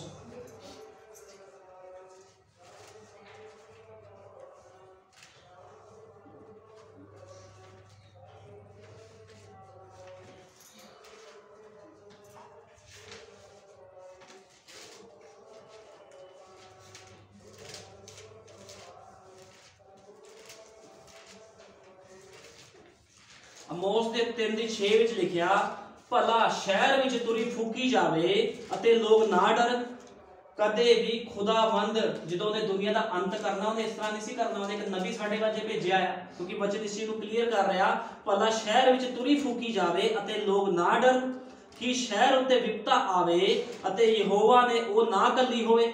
ਨਿਸੰਗ, ਪ੍ਰਭੂ ਯਹੋਵਾ ਕੋਈ ਵੀ ਕੰਮ ਨਹੀਂ ਕਰੇਗਾ ਜੇ ਉਹ ਆਪਣੇ ਸੇਵਕ ਨਬੀਆਂ ਨੂੰ ਆਪਣਾ ਭੇਦ ਪ੍ਰਗਟ ਨਾ ਕਰੇ। ਅੱਜ ਖੁਦਾ ਨੇ ਭੇਦ ਪ੍ਰਗਟ ਕਰਤੇ ਆ ਸਾਰੇ। ਉਹਨੇ ਆਪਣੇ ਨਬੀ ਦੁਆਰਾ ਚੇਤਾਵਨੀ ਦੇਤੀ ਆ। ਜਿਹੜਾ ਵਚਨ ਦੀ ਕਿਸ਼ਤੀ ਵਿੱਚ ਆਵੇਗਾ, ਜਿਹੜਾ ਯਿਸੂ ਮਸੀਹ ਦੇ ਨਾਮ 'ਚ ਬਸਮਾ ਲਵੇਗਾ ਤੇ ਨਬੀ ਦੇ ਸੰਦੇਸ਼ ਨੂੰ ਕਬੂਲ ਕਰੇਗਾ, ਉਹ ਹੀ ਮਨੁੱਖ ਬਚਾਇਆ ਜਾਵੇਗਾ। ਦੂਜਾ ਕੋਈ ਵੀ ਮਨੁੱਖ ਬਚਾਇਆ ਨਹੀਂ ਜਾਵੇਗਾ। ਕਿਉਂਕਿ ਖੁਦਾ ਦਾ ਵਚਨ ਕਲੀਅਰ ਇਸ ਗੱਲ ਨੂੰ ਕਹਿੰਦਾ ਆ, ਜੇ ਉਹ ਆਪਣੇ ਸੇਵਕ ਨਬੀਆਂ ਨੂੰ ਆਪਣੇ ਭੇਦ ਨਾ ਪ੍ਰਗਟ ਕਰੇ ਬੱਬਰ ਸ਼ੇਰ ਗੱਜਿਆ ਹੈ, ਕੌਣ ਨਾ ਡਰੇਗਾ। ਤੁਹਾਨੂੰ ਪਤਾ ਜਦੋਂ ਭਾਈ ਬ੍ਰੈਨਮ ਨੇ ਵੰਗਾਰਿਆ ਪੂਰੇ ਵਰਲਡ ਨੂੰ ਉਹਨੇ ਵੰਗਾਰਿਆ ਮਿਸ਼ਨਾ ਜਿੱਥੇ ਬੰਦਿਆਂ ਨੂੰ ਉਹਨਾਂ ਦੇ ਮੂੰਹ ਬੰਦ ਹੋ ਗਏ, ਉਹਨਾਂ ਨੂੰ ਜਵਾਬ ਨਹੀਂ ਆਇਆ। ਉਹਨੇ ਕਿਹਾ, ਮੈਨੂੰ ਵਚਨ ਵਿੱਚੋਂ ਦਿਖਾਓ ਵੀ ਜੋ ਤੁਸੀਂ ਗੱਲਾਂ ਸਿਖਾਉਂਦੇ ਹੋ, ਜੋ ਤੁਸੀਂ ਆਪਣੇ ਨਿਯਮ ਧਾਰੇ ਆ, ਕੀ ਵਚਨ ਦੇ ਵਿੱਚ ਹੈਗੇ ਆ ਤੇ ਹਰ ਮਨੁੱਖ ਉਹਦੇ ਕੋਲੋਂ ਭੱਜ ਗਿਆ। ਕਿਉਂਕਿ ਸ਼ੇਰ ਜਦੋਂ ਗੱਜਦਾ ਆ ਤੇ ਉਦੋਂ ਕੋਈ ਕੋਲ ਖੜਦਾ ਨਹੀਂ ਆ। ਤੇ ਬੱਬਰ ਸ਼ੇਰ ਕੌਣ ਆ? ਸਾਡਾ ਪ੍ਰਭੂ ਯੀਸ਼ੂ ਮਸੀਹ। ਯਹੂਦਾ ਦਾ ਬੱਬਰ ਸ਼ੇਰ ਆ ਜਿਹੜਾ ਅੱਜ ਗੱਜ ਰਿਹਾ ਆ। ਅੱਜ ਮਿਸ਼ਨਾ ਜਿੱਥੇ ਬੰਦੀਆਂ ਡਰ ਰਹੀਆਂ ਆ। ਕਿਉਂ ਡਰ ਰਹੀਆਂ? ਕਿਉਂਕਿ ਸ਼ੇਰ ਜਦੋਂ ਗੱਜਦਾ ਆ, ਉਦੋਂ ਇਹ ਲੋਕ ਚੁੱਪ ਕਰ ਜਾਂਦੇ ਆ। ਇਹਨਾਂ ਨੂੰ ਜਵਾਬ ਨਹੀਂ ਆਉਂਦਾ ਜਦੋਂ ਇਹ ਲੋਕਾਂ ਨਾਲ ਅਸੀਂ ਗੱਲ ਕਰਦੇ ਆ ਵੀ ਬਾਈਬਲ ਕੀ ਬਿਆਨ ਕਰਦੀ ਆ? ਬਾਈਬਲ ਬਪਸਵੇਂ ਬਾਰੇ ਕੀ ਬਿਆਨ ਕਰਦੀ ਆ? ਮਸੀਹ ਜੀਵਨ ਬਾਰੇ ਕੀ ਬਿਆਨ ਕਰਦੀ ਆ? ਮਸੀਹ ਜਿਹੜੇ ਵਿਆਹ ਸ਼ਾਦੀਆਂ ਉਹਦੇ ਬਾਰੇ ਕੀ ਬਿਆਨ ਕਰਦੀ? ਸਭ ਕੁਝ ਜਦੋਂ ਅਸੀਂ ਗੱਲਾਂ ਕਰਦੇ ਆ, ਲੋਕ ਭੱਜਦੇ ਆ, ਕਿਉਂ ਭੱਜਦੇ ਆ? ਪਵਿੱਤਰ ਆਤਮਾ ਦੇ ਅੱਗੇ ਇਹ ਲੋਕ ਖੜ ਨਹੀਂ ਸਕਦੇ, ਕਿਉਂਕਿ ਇਹ ਲੋਕ ਕੀ ਆ ਸ਼ੈਤਾਨ ਵੱਲੋਂ ਅਭਿਸ਼ਿਕਤ ਕੀਤੇ ਗਏ ਨੇ। ਸਾਨੂੰ ਕਿਹਨੇ ਅਭਿਸ਼ੇਕਤ ਕੀਤਾ? ਸਾਨੂੰ ਪਵਿੱਤਰ ਆਤਮਾ ਨੇ ਅਭਿਸ਼ੇਕਤ ਕੀਤਾ। ਪੈਂਤੇ ਕੁਸਤੇ ਦਿਨ ਜਿਹੜਾ ਪਵਿੱਤਰ ਆਤਮਾ ਉਤਰਿਆ ਸੀ 120 ਦੀ ਜਮਾਤ ਤੇ, ਉਹੀ ਪਵਿੱਤਰ ਆਤਮਾ ਸਾਡੇ ਉੱਪਰ ਆ। ਲੇਕਿਨ ਇਹਨਾਂ ਲੋਕਾਂ ਨੂੰ ਕਿਹਨੇ ਅਭਿਸ਼ੇਕਤ ਕੀਤਾ ਆ? ਸ਼ੈਤਾਨ ਨੇ ਇਹਨਾਂ ਲੋਕਾਂ ਨੂੰ ਅਭਿਸ਼ੇਕਤ ਕਰ ਦਿੱਤਾ ਆ। ਨਾਮ ਇਹ ਲੋਕ ਯੀਸ਼ੂ ਮਸੀਹ ਦਾ ਲੈਂਦੇ ਆ, ਲੇਕਿਨ ਕੰਮ ਸ਼ੈਤਾਨ ਦੇ ਆ ਇਹਨਾਂ ਲੋਕਾਂ ਦੇ। ਬਾਈਬਲ ਬਿਆਨ ਕਰਦੀ ਹੈ ਕਿ ਤੁਸੀਂ ਬਿੰਦੀ, ਇੱਕ ਅੱਖਰ ਵੀ ਟਾਲ ਨਹੀਂ ਸਕਦੇ, ਸੰਤ ਪੌਲਸ ਨੇ। ਸੰਤ ਪੌਲਸ ਦੇ ਅੰਦਰ ਜਦੋਂ ਪਵਿੱਤਰ ਆਤਮਾ ਆਇਆ, ਜਦੋਂ ਉਹ ਖੁਦਾ ਦੇ ਕੰਮਾਂ ਨੂੰ ਕਰਨ ਲੱਗਾ, ਤਾਂ ਸੰਤ ਪੌਲਸ ਨੇ ਕਿਹਾ ਸੀਗਾ ਵੀ ਜਿਹੜਾ, ਜਿਹੜੀ ਸਿੱਖਿਆ ਅਸੀਂ ਦਿੰਦੇ ਆ ਜੇ ਕੋਈ ਹੋਰ ਸਿੱਖਿਆ ਤੁਹਾਨੂੰ ਦਵੇ, ਭਾਵੇਂ ਸਵਰਗ ਦਾ ਦੂਤ ਵੀ ਕੋਈ ਆ ਜਾਵੇ, ਤੇ ਕਹਿੰਦਾ ਉਹ ਸ਼ੈਤਾਨ ਵੱਲੋਂ ਹੋਊਗਾ। ਤੇ ਤੁਸੀਂ ਦੇਖ ਲਓ ਫਿਰ ਸੰਤ ਪੌਲਸ ਨੂੰ ਕੱਢਤਾ ਇਹਨਾਂ ਲੋਕਾਂ ਨੇ ਅੱਜ, ਪਤਰਸ ਨੂੰ ਕੱਢਤਾ ਬਪਸਮੇ ਨੂੰ ਕੱਢਤਾ, ਸਾਰੀਆਂ ਚੀਜ਼ਾਂ ਕੱਢਤੀਆਂ ਇਹਨਾਂ ਲੋਕਾਂ ਨੇ। ਤੇ ਇਹ ਲੋਕ ਕਿੱਦਾਂ ਦੇ ਹੋਣਗੇ? ਕੀ ਖੁਦਾ ਇਹਨਾਂ ਨੂੰ ਛੱਡ ਦੂਗਾ ਨਹੀਂ। ਇਹ ਲੋਕ ਸੋਚ ਰਹੇ ਵੀ ਅਸੀਂ ਬਾਈਬਲਾਂ ਹੱਥ 'ਚ ਫੜ ਲਈਆਂ, ਅਸੀਂ ਪ੍ਰਚਾਰ ਕਰ ਰਹੇ, ਖੁਦਾ ਸਾਨੂੰ ਬਖਸ਼ ਦੂ ਖੁਦਾ ਨੇ ਬਖਸ਼ਣਾ ਨਹੀਂ ਆ। ਖੁਦਾ ਵੇਟ ਕਰ ਰਿਹਾ ਆ, ਆਪਣੀ ਦੁਲਹਨ ਦੇ ਇੱਕ ਇੱਕ ਜਨ ਦੀ, ਜਦੋਂ ਇੱਕ ਵੀ ਬੰਦਾ ਉਹਦੀ ਦੁਲਹਨ ਦਾ ਜਿਹੜਾ ਆਖਰੀ ਹੋਊਗਾ, ਅੰਦਰ ਆਊਗਾ ਤਾਂ ਰੈਪਚਰ ਹੋ ਜਾਣਾ ਉਸੇ ਦਿਨ। ਰੈਪਚਰ ਹੋ ਜਾਣਾ ਤੇ ਰੈਪਚਰ ਦੇ ਵਿੱਚ ਲੋਕ ਜਾਣਗੇ, ਫਿਰ ਇਹ ਲੋਕਾਂ ਨੇ ਰੋਣਾ ਆ, ਪਿੱਟਣਾ ਆ, ਵੀ ਪ੍ਰਭੂ ਸਾਡੇ ਤੋਂ ਗਲਤੀ ਹੋ ਗਈ ਆ। ਤੇ ਦੇਖੋ ਕਿੰਨੀ ਮਹਾਨ ਗੱਲ ਆ। ਤੁਹਾਨੂੰ ਪਤਾ ਜਦੋਂ ਯੂਸਫ ਮਿਸਰ ਦੇ ਦੇਸ਼ 'ਚ ਸੀਗਾ ਤੇ ਉਹਨੇ ਇੱਕ ਔਰਤ ਦੇ ਨਾਲ ਵਿਆਹ ਕਰਵਾਇਆ ਸੀ। ਉਹਦੇ ਦੋ ਬੱਚੇ ਪੈਦਾ ਹੋਏ ਸੀਗੇ। ਦੋ ਮੁੰਡੇ ਸੀਗੇ ਉਹਦੇ ਕੋਲ। ਤੇ ਕੀ ਹੋਇਆ ਜਦੋਂ ਉਹਦਾ ਘਰਾੜਾ ਮਿਸਰ ਦੇ ਦੇਸ਼ ਵਿੱਚ ਆਇਆ ਤੇ ਉਹਨੇ ਯਕੂਬ ਨੂੰ ਕਿਹਾ, ਕਹਿੰਦਾ ਮੇਰੇ ਦੋਨੋਂ ਬੱਚਿਆਂ ਨੂੰ ਬਰਕਤ ਦੇ। ਤੇ ਕੀ ਹੋਇਆ? ਉਹਨੇ ਸੱਜੇ ਵਾਲੇ, ਜਿਹੜਾ ਸੱਜੇ ਹੱਥ ਵਾਲਾ ਪਾਸਾ ਸੀਗਾ, ਸੱਜੇ ਹੱਥ ਉਹਨੇ ਵੱਡੇ ਮੁੰਡੇ ਨੂੰ ਤੇ ਛੋਟੇ ਮੁੰਡੇ ਨੂੰ ਖੱਬੇ ਹੱਥ ਖੜਾ ਕਰ ਦਿੱਤਾ ਤੇ ਉਹਨੇ ਕੀ ਕੀਤਾ? ਜਿਹੜਾ ਯਾਕੂਬ ਸੀਗਾ, ਇਸਰਾਇਲ ਸੀਗਾ, ਉਹਨੇ ਇਦਾਂ ਕਰਕੇ ਬਰਕਤ ਦਿੱਤੀ ਸੀ। ਕੀ ਹੋਇਆ? ਵੱਡੇ ਦੀ ਬਰਕਤ ਛੋਟੇ ਨੂੰ ਮਿਲ ਗਈ। ਮੈਂ ਤੁਹਾਨੂੰ ਦੱਸਦਾ, ਜਿਹੜੇ ਯਹੂਦੀ ਲੋਕ ਸੀਗੇ, ਉਹਨਾਂ ਦੀ ਬਰਕਤ, ਉਹਨਾਂ ਦੀ ਬਰਕਤ ਅੱਜ ਸਾਨੂੰ ਮਿਲੀ ਆ। ਕਿਉਂ ਮਿਲੀ ਆ? ਕਿਉਂਕਿ ਉਹਨਾਂ ਨੇ ਖੁਦਾ ਨੂੰ ਰੱਦਿਆ। ਤੁਹਾਨੂੰ ਪਤਾ, ਦੁਲਹਨ ਕਿੱਥੋਂ ਉਠਾਈ ਜਾਣੀ? ਇੰਡੀਆ ਦੇ ਵਿੱਚੋਂ ਸਭ ਤੋਂ ਜ਼ਿਆਦਾ ਨਬੀ ਨੇ ਕਿਹਾ, ਦੁਲਹਨ ਉਠਾਈ ਜਾਣੀ ਹੈ। ਉਹਨਾਂ ਲੋਕਾਂ ਨੂੰ ਕਿਉਂਕਿ ਉਹਨਾਂ ਲੋਕਾਂ ਨੇ ਉਹਨੂੰ ਰੱਦਤਾ ਉਹਨੂੰ ਪਛਾਣਿਆ ਨਹੀਂ, ਤੇ ਅੱਜ ਅਸੀਂ ਲੋਕਾਂ ਨੇ ਉਹਨੂੰ ਪਛਾਣਿਆ ਆ। ਉਹਨਾਂ ਦੀ ਉਹ ਪਹਿਲੋਠੇ ਸੀਗੇ। ਪਹਿਲ ਉਹਨਾਂ ਦੀ ਸੀ, ਲੇਕਿਨ ਪਹਿਲ ਕਿਹਨੂੰ ਮਿਲੀ? ਸਾਨੂੰ, ਜਿਹੜੇ ਗੈਰ ਜਾਤੀਆਂ ਦੇ ਲੋਕ ਸੀ, ਸਾਨੂੰ ਖੁਦਾ ਨੇ ਪਹਿਲ ਦਿੱਤੀ। ਨਬੀ ਨੇ ਗੱਲ ਬਿਆਨ ਕੀਤੀ ਆ, ਸਾਨੂੰ ਖੁਦਾ ਨੇ ਪਹਿਲ ਦਿੱਤੀ ਆ, ਲੇਕਿਨ ਉਹਨਾਂ ਦੇ ਆਪਣੇ ਲੋਕਾਂ ਨੇ ਪਛਾਣਿਆ ਨਹੀਂ। ਤੇ ਸਭ ਤੋਂ ਜ਼ਿਆਦਾ ਦੁਲਹਨ ਇੰਡੀਆ ਵਿੱਚੋਂ ਉਠਾਈ ਜਾਵੇਗੀ, ਨਬੀ ਨੇ ਕਿਹਾ। ਤੇ ਅਸੀਂ ਕਿੰਨੇ ਧੰਨ ਮਨੁੱਖਾਂ ਸਾਡੇ ਕੋਲ ਖੁਦਾ ਦਾ ਵਚਨ ਆਇਆ, ਤੇ ਅਸੀਂ ਖੁਦਾ ਦੇ ਵਚਨ ਨੂੰ ਰੱਦੀ ਜਾਂਦੇ ਆ ਅੱਜ। ਅੱਜ ਲੋਕ ਖੁਦਾ ਦੇ ਵਚਨ ਨੂੰ ਛੱਡ ਛੱਡ ਕੇ ਜਾਂਦੇ ਆ। ਕਹਿੰਦੇ ਅਸੀਂ ਨਹੀਂ ਖਾ ਸਕਦੇ। ਲੋਕਾਂ ਨੂੰ ਸੱਚਾਈ ਦੱਸੀ ਦੀ ਮੰਨਦੇ ਵੀ ਆ ਵੀ ਹਾਂ, ਤੁਸੀਂ ਸੱਚ ਬੋਲਦੇ ਹੋ। ਉਹਨਾਂ ਨੂੰ ਇਹ ਵੀ ਪਤਾ ਆ ਵੀ ਵਚਨ ਤੇ ਨਹੀਂ ਚੱਲਾਂਗੇ ਤੇ ਨਰਕ ਦੀ ਅੱਗ ਸਾਡਾ ਇੰਤਜ਼ਾਰ ਕਰੇ ਤਾਂ ਵੀ ਨਹੀਂ ਡਰਦੇ। ਫਿਰ ਭੁੱਲ ਜਾਂਦੇ ਫਿਰ ਦੇਖਦੇ ਆ ਖੁੱਲਾ ਰਸਤਾ। ਅੱਜ ਲੋਕ ਖੁੱਲੇ ਰਸਤੇ ਵੱਲ ਜਾ ਰਹੇ ਆ। ਇਹੋ ਜਿਹੇ ਲੋਕਾਂ ਨੂੰ ਖੁਦਾ ਪਸੰਦ ਨਹੀਂ ਕਰਦਾ। ਖੁਦਾ ਉਹਨਾਂ ਲੋਕਾਂ ਨੂੰ ਪਸੰਦ ਕਰਦਾ ਜਿਹੜੇ ਉਹਦੀ ਆਗਿਆਕਾਰੀ ਕਰਦੇ ਆ। ਚਾਹੇ ਦੁੱਖਾਂ ਵਿੱਚ ਰਹਿਣ, ਮੁਸੀਬਤਾਂ 'ਚ ਰਹਿਣ, ਉਹਦੀ ਆਗਿਆਕਾਰੀ ਕਰਦੇ। ਪ੍ਰਭੂ ਉਹਨਾਂ ਨੂੰ ਪਸੰਦ ਕਰਦਾ ਆ। ਮਲਾਕੀ 4 ਦੀ 5 ਵਿੱਚ ਲਿਖਿਆ, ਵੇਖੋ, ਮੈਂ ਏਲੀਆ ਨਬੀ ਨੂੰ ਤੁਹਾਡੇ ਲਈ ਘੱਲਾਂਗਾ। ਕਹਿੰਦਾ, ਉਹ ਭੇਦਾਇਕ ਤੇ ਸਾੜਨ ਵਾਲਾ ਦਿਨ ਆਵੇ। ਕਹਿੰਦਾ, ਏਲੀਆ ਨਬੀ ਆਊਗਾ। ਉਹ ਏਲੀਆ ਨਬੀ ਜਦੋਂ ਆਇਆ ਤੇ ਲੋਕੀ ਉਹਨੂੰ ਮੰਨ ਨਹੀਂ ਰਹੇ। ਅੱਜ ਮੰਨਦੇ ਵੀ ਲੋਕ, ਕਹਿੰਦੇ ਝੂਠਾ ਹੈ। ਵਚਨ ਨੂੰ ਹਮੇਸ਼ਾ ਹੀ ਲੋਕਾਂ ਨੇ ਰੱਦਿਆ ਹੈ। ਜੇ ਤੁਸੀਂ ਬਾਈਬਲ ਪੜੋਗੇ ਹਮੇਸ਼ਾ ਹੀ ਵਚਨ ਨੂੰ ਉਹਦੇ ਨਬੀਆਂ ਨੂੰ ਕਿਹਨੇ ਰੱਦਿਆ ਆ? ਇਹਨਾਂ ਗਿਆਨੀ ਲੋਕਾਂ ਨੇ ਰੱਦਿਆ, ਜਿਹੜੇ ਕਿਹੜੇ ਗਿਆਨ ਨਾਲ ਭਰੇ ਹੋਏ ਆ? ਭਾਈ ਬ੍ਰੈਨਮ ਨੇ ਕਿਹਾ, ਇਹ ਸੰਸਾਰ ਦੇ ਗਿਆਨ ਦੇ ਨਾਲ ਭਰੇ ਆ, ਆਪਣੇ ਅਕੀਦੇ ਬਣਾਣੇ ਇਹਨਾਂ ਲੋਕਾਂ ਨੇ। ਇਹ ਕਹਿੰਦੇ ਕੁਝ ਨਹੀਂ ਹੁੰਦਾ। ਕੁਝ ਨਹੀਂ ਹੁੰਦਾ। ਪ੍ਰਭੂ ਤੈਨੂੰ ਪਿਆਰ ਕਰਦਾ ਜੋ ਮਰਜ਼ੀ ਕਰਕੇ। ਇਹ ਕਿਦਾਂ ਹੋ ਸਕਦਾ? ਖੁਦਾਵੰਦ ਉਹਨੂੰ ਹੀ ਪਿਆਰ ਕਰਦਾ ਜਿਹੜਾ ਉਹਦੀ ਆਗਿਆਕਾਰੀ ਕਰਦਾ, ਜਿਹੜਾ ਮਨੁੱਖ ਦੀ ਆਗਿਆਕਾਰੀ ਨਹੀਂ ਕਰਦਾ, ਪ੍ਰਭੂ ਨੂੰ ਉਹ ਤੇ ਤਰਸ ਆਉਂਦਾ ਹੈ। ਕਿਉਂਕਿ ਉਹ ਲੋਕ ਨੰਗੇ ਆ, ਉਹਨਾਂ ਕੋਲ ਕੱਪੜੇ ਨਹੀਂ ਐ ਇਸ ਕਰਕੇ ਪ੍ਰਕਾਸ਼ ਦੀ ਪੋਥੀ ਵਿੱਚ ਕਹਿੰਦਾ ਕਹਿੰਦਾ ਤੂੰ ਇਹ ਸੋਚਦਾ ਤੂੰ ਮਾਇਆ ਜੋੜੀ ਆ। ਕਹਿੰਦਾ, ਲੇਕਿਨ ਤੂੰ ਨੰਗਾ ਮੰਦ ਭਾਗਾ ਆ, ਗਰੀਬ ਆ ਤੂੰ। ਕਹਿੰਦਾ, ਕੱਪੜੇ ਲੈ, ਕਿਹੜੇ ਕੱਪੜੇ ਲੈਣੇ? ਆ ਕੱਪੜੇ ਆ, ਖੁਦਾ ਦੇ ਬਚਨ ਦੇ ਕੱਪੜੇ। ਇਹ ਅਸਲੀ ਕੱਪੜੇ ਜਿਹੜੇ ਸਾਨੂੰ ਪਵਿੱਤਰਤਾਈ ਵਿੱਚ ਲੈ ਕੇ ਜਾਂਦੇ ਆ। ਲੇਕਿਨ ਉਹ ਲੋਕ ਗਲਤ ਜੀਵਨ ਬਤੀਤ ਕਰਦੇ ਹੋਏ ਆਪਣੇ ਆਪ ਨੂੰ ਮਸੀਹ ਕਹਿ ਰਹੇ ਆ। ਲੇਕਿਨ ਇਹ ਲੋਕ ਕੌਣ ਆ? ਐਂਟੀ ਕ੍ਰਾਈਸਟ ਆ। ਸ਼ੈਤਾਨ ਵੱਲੋਂ ਖੜੇ ਕੀਤੇ ਗਏ ਲੋਕ ਆ। ਇੱਕ ਭੈਣ ਦੇ ਨਾਲ ਫੋਨ ਤੇ ਮੇਰੀ ਗੱਲ ਹੋਈ। ਉਹਨੇ ਕਿਹਾ, ਕਹਿੰਦੇ ਵੀ ਖੋਜੇਵਾਲ ਕੋਈ ਚਰਚ ਆ, ਉੱਥੇ ਜਿਹੜੀ ਪਾਸਟਰ ਦੀ ਪਤਨੀ ਹਰਸ਼ਰਨ ਕੌਰ ਉਹ ਪ੍ਰਚਾਰ ਕਰਦੀ ਆ। ਉਹ ਕਹਿੰਦੀ, ਔਰਤਾਂ ਦਾ ਬਰਾਬਰ ਦਾ ਅਧਿਕਾਰ ਆ। ਮੈਂ ਕਿਹਾ, ਇਹਨੂੰ ਆਪਾਂ ਬਾਈਬਲ 'ਚ ਲੈ ਜਾਂਦੇ ਆ ਮੈਂ ਕਿਹਾ, ਬਾਈਬਲ ਕੀ ਕਹਿੰਦੀ ਇਸ ਚੀਜ਼ ਨੂੰ? ਕਿਉਂਕਿ ਪਹਿਲਾ ਤਮੋਥੀਅਸ 2 ਦੀ 8 ਵਿੱਚ ਲਿਖਿਆ, ਔਰਤ ਚੁੱਪਚਾਪ ਹੋ ਕੇ ਪੂਰੀ ਅਧੀਨਗੀ ਦੇ ਨਾਲ ਸਿੱਖਿਆ ਲਵੇ। ਔਰਤ ਨੂੰ ਸਿੱਖਿਆ ਦੇਣ ਦੇ ਲਈ ਮੈਂ ਪ੍ਰਵਾਨਗੀ ਨਹੀਂ ਦਿੰਦਾ ਤੇ ਔਰਤ ਪ੍ਰਚਾਰ ਕਿੱਦਾਂ ਕਰ ਰਹੀ ਆ? ਮੈਂ ਕਿਹਾ, ਭੈਣ, ਤੂੰ ਤਾਂ ਨਬੀ ਦੇ ਸੰਦੇਸ਼ ਨੂੰ ਹੀ ਕੱਢਤਾ। ਤੂੰ ਤਾਂ ਜੀਵਨ ਦੀ ਗੱਲਾਂ ਨੂੰ ਕੱਢਤਾ ਤੇ ਤੇਰਾ ਹਾਲ ਕੀ ਹੋਊਗਾ ਤੈਨੂੰ ਪਤਾ ਨਹੀਂ ਇਸ ਗੱਲ ਦਾ। ਉਹ ਲੋਕ ਕੀ ਕਹਿੰਦੇ? ਉਹਨਾਂ ਨੂੰ ਛੱਡੋ। ਬਾਈਬਲ ਕੀ ਕਹਿੰਦੀ? ਤੁਸੀਂ ਇਹ ਦੇਖਣਾ ਕੋਈ ਸੇਵਕ ਕੀ ਕਹਿੰਦਾ? ਕੋਈ ਪਾਸਟਰ ਕੀ ਕਹਿੰਦਾ ਆ? ਕੋਈ ਭਵਿਸ਼ਦਕਤਾ ਕੀ ਕਹਿੰਦਾ ਉਹਨੂੰ ਛੱਡੋ। ਬਾਈਬਲ ਨੂੰ ਦੇਖੋ ਨਬੀ ਨੇ ਕਿਹਾ ਸੀਗਾ ਵੀ ਤੁਸੀਂ ਬਾਈਬਲ 'ਚ ਦੇਖੋ ਜਿਹੜੀ ਗੱਲਾਂ ਮੈਂ ਤੁਹਾਡੇ ਨਾਲ ਕਰਦਾ ਆ ਉਹ ਉਸੇ ਤਰ੍ਹਾਂ ਹੈ ਕਿ ਨਹੀਂ ਹੈ ਇਹ ਬਾਈਬਲ ਦੇ ਵਿੱਚ ਨਬੀ ਸਾਨੂੰ ਲੈ ਕੇ ਗਿਆ। ਨਬੀ ਨੇ ਸਾਨੂੰ ਆਪਣੇ ਪਿੱਛੇ ਨਹੀਂ ਲਗਾਇਆ। ਉਹਨੇ ਬਚਨ ਦੇ ਪਿੱਛੇ ਸਾਨੂੰ ਲਗਾਇਆ। ਕਹਿੰਦਾ ਬਾਈਬਲ 'ਚ ਦੇਖੋ ਤੁਸੀਂ ਉਹਨੇ ਪਛਾਣ ਕਰਾਈ ਵੀ ਬਾਈਬਲ ਦੇ ਵਚਨ ਹੈ ਕੀ ਹੈ ਸੱਚ ਦੇ ਵਿੱਚ? ਲੇਕਿਨ ਲੋਕਾਂ ਨੂੰ ਸਮਝ ਨਹੀਂ ਆ। ਅੱਜ ਔਰਤਾਂ ਪ੍ਰਚਾਰ ਕਰ ਰਹੀਆਂ ਪੁਲਪੜ ਤੇ ਚੜ ਕੇ। ਨਬੀ ਨੇ ਭਵਿਸ਼ਵਾਣੀ ਕੀਤੀ ਸੀ ਵੀ ਔਰਤ ਰਾਜ ਕਰੂਗੀ ਛੇਵੀਂ ਭਵਿਸ਼ਵਾਣੀ ਆ ਇਹ ਔਰਤ ਦਾ ਰਾਜ ਆ। ਹਰ ਪਾਸੇ ਔਰਤ ਕਹਿੰਦੀ, ਮੇਰਾ ਵੀ ਤਾਂ ਅਧਿਕਾਰ ਲੇਕਿਨ ਔਰਤ ਦਾ ਅਧਿਕਾਰ ਕੀ ਹੈ ਉਹ ਸਿਰਫ ਜਿਹੜੀ ਉਹਦੀ ਬੇਟੀਆਂ ਆ, ਆਰਾਧਨਾ ਕਰਨ ਉਹਦੀਆਂ। ਖੁਦਾ ਦੀ ਆਰਾਧਨਾ ਕਰਨ। ਔਰਤਾਂ ਦਾ ਕੰਮ ਪੁਲਪੜ ਤੇ ਪ੍ਰਚਾਰ ਕਰਨਾ ਨਹੀਂ ਆ। ਕੋਈ ਮਨੁੱਖ ਉਤਪਤ ਤੋਂ ਲੈ ਕੇ ਪ੍ਰਕਾਸ਼ ਦੀ ਪੋਥੀ ਤੱਕ ਮੈਨੂੰ ਦਿਖਾ ਦੇਣੀ ਕੋਈ ਵੀ ਔਰਤ ਪੁਲਪੜ ਤੇ ਪ੍ਰਚਾਰ ਕਰਦੀ ਹੋਵੇ, ਪੂਰੀ ਬਾਈਬਲ ਦੇ ਵਿੱਚ। ਉੱਤੇ ਸ਼ੀ ਨਹੀਂ ਹੀ ਲਿਖਿਆ ਆ। ਕੋਈ ਵੀ ਔਰਤ ਖੁਦਾ ਦਾ ਪ੍ਰਚਾਰ ਨਹੀਂ ਕਰ ਸਕਦੀ। ਪੁਲਪੜ ਤੇ ਚੜ ਕੇ ਵੈਸੇ ਤੁਸੀਂ ਘਰ 'ਚ ਜਾ ਸਕਦੇ ਹੋ ਤੇ ਆਪਣੇ ਬੱਚਿਆਂ ਨੂੰ ਸਮਝਾ ਸਕਦੇ ਰਿਸ਼ਤੇ। ਉਹ ਗੱਲ ਅਲੱਗ ਹੈ ਲੇਕਿਨ ਪਾਸਟਰ ਦੀ ਸੇਵਕ ਜਿਹੜੀ ਹੁੰਦੀ ਆ, ਇੱਕ ਮਨੁੱਖ ਦੀ ਹੁੰਦੀ ਹੈ ਤੇ ਉਹੀ ਮਨੁੱਖ ਪਾਸਟਰ ਜਿਹੜਾ ਪ੍ਰਚਾਰ ਕਰ ਸਕਦਾ, ਜਿਹਨੇ ਯੀਸ਼ੂ ਮਸੀਹ ਦੇ ਨਾਮ 'ਚ ਬਸਮਾ ਲਿਆ ਤੇ ਖਰੀ ਸਿੱਖਿਆ ਦਿੰਦਾ ਹੋਵੇ। ਹੁਣ ਇਹ ਕਿਹੜੀ ਸਿੱਖਿਆ ਆ ਗਈ ਆ? ਜਿਹੜੀ ਪਿਤਾ ਪੁੱਤਰ ਵਾਲੀ ਸਿੱਖਿਆ ਆ, ਇਹ ਸਭ ਸ਼ੈਤਾਨ ਦੀ ਸਿੱਖਿਆ ਆ। ਇਹ ਲੋਕ ਸ਼ੈਤਾਨੀ ਆ, ਬਿਜ਼ਨਸ ਕਰਦੇ ਆ ਲੋਕ। ਪੈਸਾ ਕਮਾਉਂਦੇ ਉਹਨਾਂ ਦੇ ਚਰਚ ਅਮੀਰ ਤੋਂ ਅਮੀਰ ਬੰਦਾ ਆਂਦਾ ਨਬੀ ਨੇ ਕਿਹਾ। ਅਮੀਰ ਤੋਂ ਅਮੀਰ ਬੰਦੇ ਨੂੰ ਬੁਲਾਉਂਦੇ ਚਰਚਾਂ ਵਿੱਚ ਤੇ ਖੁਦਾ ਚੰਬੇ ਕੰਮ ਵੀ ਕਰ ਰਿਹਾ, ਕਿਉਂ ਕਰ ਰਿਹਾ? ਕਿਉਂਕਿ ਖੁਦਾ ਨੇ ਕਿਹਾ ਸੀਗਾ ਵੀ ਕਹਿੰਦਾ ਵੀ ਜੇ ਮੈਂ ਕਹਿੰਦਾ ਦੋਨਾਂ ਨੂੰ ਕਹਿੰਦਾ ਅਸੀਂ ਪੱਟ ਦਈਏ ਹਨਾ?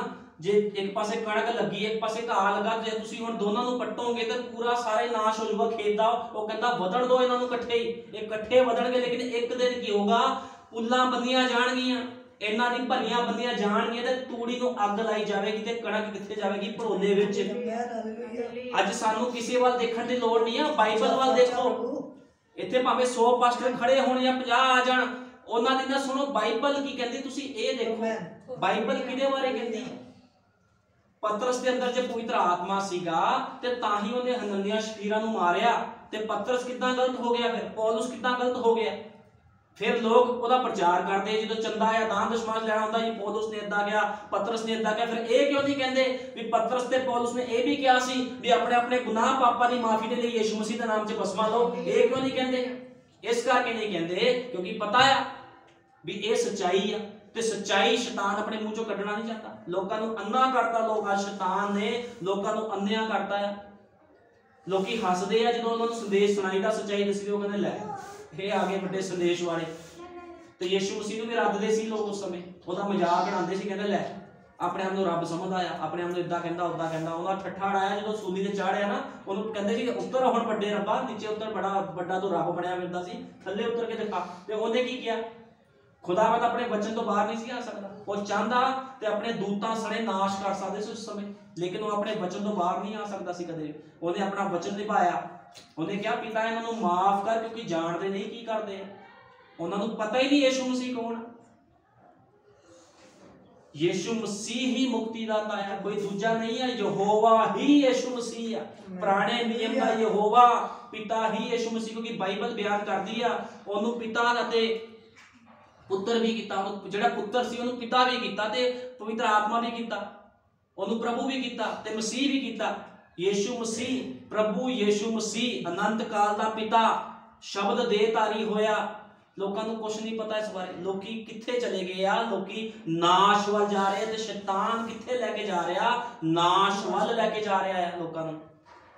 ਕਿਉਂਕਿ ਸ਼ੈਤਾਨ ਵੀ ਵਚਨ ਲੈ ਕੇ ਆਉਂਦਾ। ਜਦੋਂ ਹਵਾ ਦੇ ਕੋਲ ਆਇਆ ਸੀ ਸ਼ੈਤਾਨ ਤੇ ਕੋਈ ਹੋਰ ਸਿੱਖਿਆ ਥੋੜੀ ਲੈ ਕੇ ਆਇਆ ਸੀਗਾ? ਵਚਨ ਲੈ ਕੇ ਆਇਆ ਸੀ ਕਹਿੰਦਾ ਸੀ, ਹਵਾ ਆ ਦੇਖ, ਮੈਂ ਉਹਨੇ ਵਚਨ ਦੇ ਦੁਆਰਾ ਗੱਲ ਕੀਤੀ। ਜੇ ਤੂੰ ਫਲ ਖਾਏਂਗੀ ਨਾ ਤੇਰੀ ਅੱਖਾਂ ਖੁੱਲ ਜਾਣੀਆਂ, ਤੈਨੂੰ ਪਤਾ ਲੱਗ ਜਾਣਾ ਆ।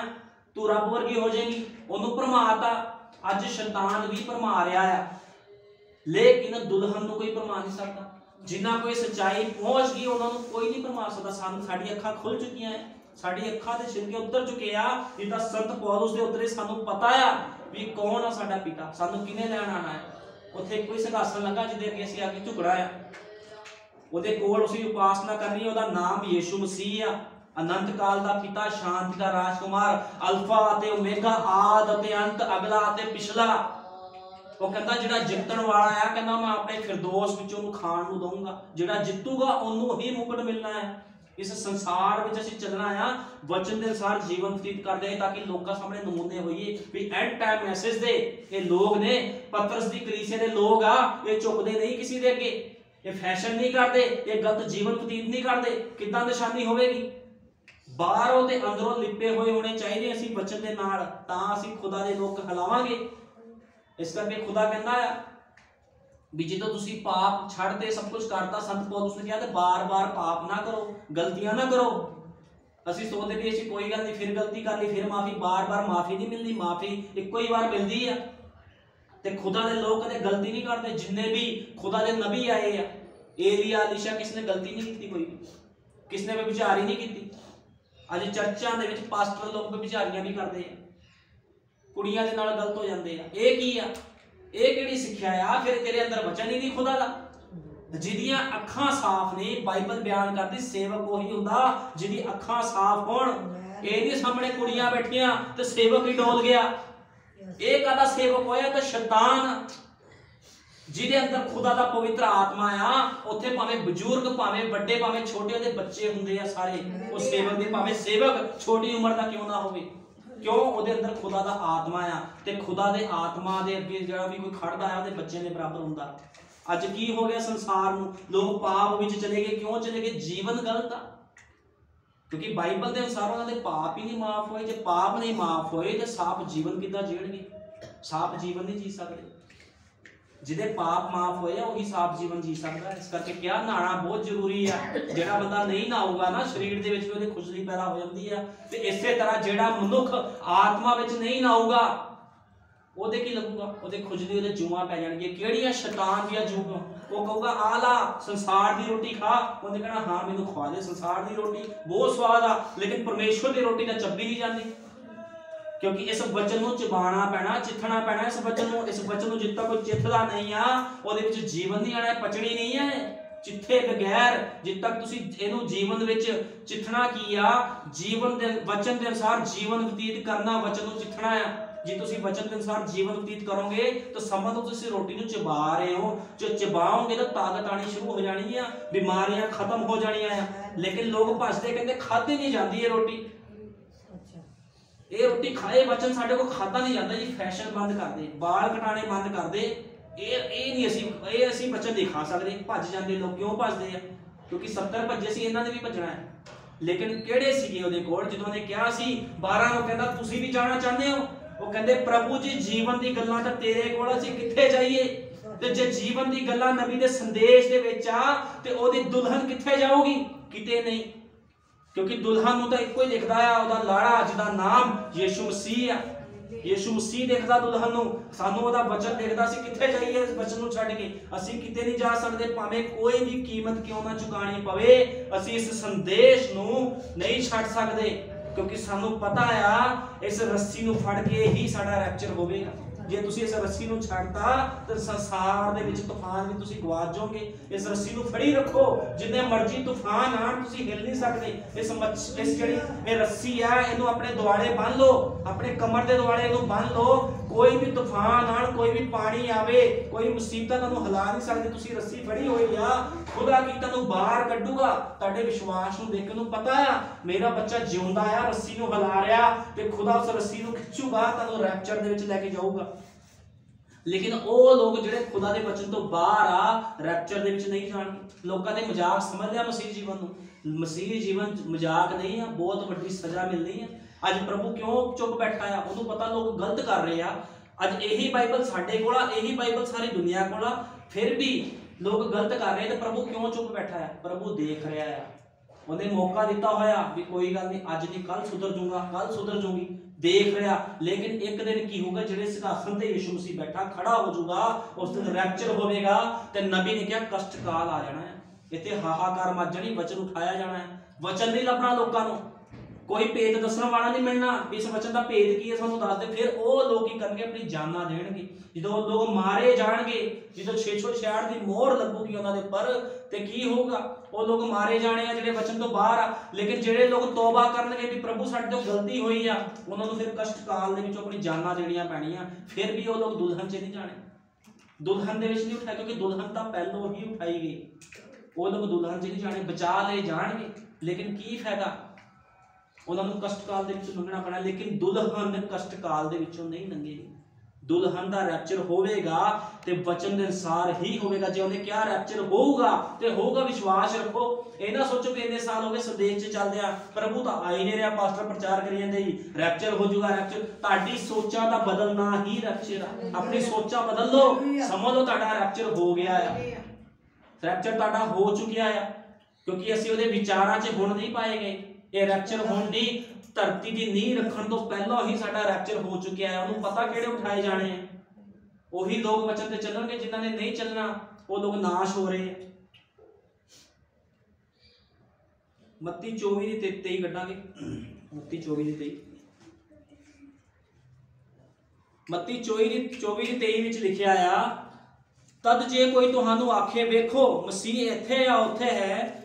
ਕਹਿੰਦਾ, ਤੁਸੀਂ ਸੱਚ ਨਾ ਮੰਨਣਾ ਕਿਉਂਕਿ ਝੂਠੇ ਮਸੀਹ ਅਤੇ ਝੂਠੇ ਨਬੀ ਉੱਠਣਗੇ ਅਤੇ ਅਜਿਹੇ ਵੱਡੇ ਨਿਸ਼ਾਨ ਅਤੇ ਅਚਰਜ ਕੰਮ ਵਿਖਾਉਣਗੇ ਕਿ ਜੇ ਹੋ ਸਕਦਾ ਤਾਂ ਚੁਣਿਆ ਹੋਇਆਂ ਨੂੰ ਵੀ ਭੁਲਾਵੇ ਵਿੱਚ ਪਾ ਦਿੰਦੇ, ਲੇਕਿਨ ਚੁਣੇ ਹੋਏ ਭੁਲਾਵੇ ਵਿੱਚ ਨਹੀਂ ਪੈਣਗੇ ਕਿਉਂਕਿ ਸਾਨੂੰ ਪਤਾ ਲੱਗ ਗਿਆ ਸਾਡੇ ਯੁੱਗ ਦਾ ਨਬੀ ਕੌਣ ਆ ਜਿੱਦੇ ਮਰਜ਼ੀ ਨਬੀ ਆ ਜਾਣ, ਵੱਡੇ ਵੱਡੇ ਚੀਨ ਚਮਤਕਾਰ ਦਿਖਾਣ ਕੁਝ ਵੀ ਕਰਨ, ਦੁਲਹਨ ਉਹਦੇ ਪਿੱਛੇ ਨਹੀਂ ਜਾਵੇਗੀ। ਕਿਉਂਕਿ ਸਾਨੂੰ ਪਤਾ ਹੈ ਮਸੀਹ ਆਪਣੇ ਵਚਨ ਦੇ ਵਿੱਚ ਰਹਿੰਦਾ ਹੈ। ਮਸੀਹ ਆਪਣੇ ਵਚਨ ਦੇ ਵਿੱਚ ਖੜਾ ਆ ਅੱਜ।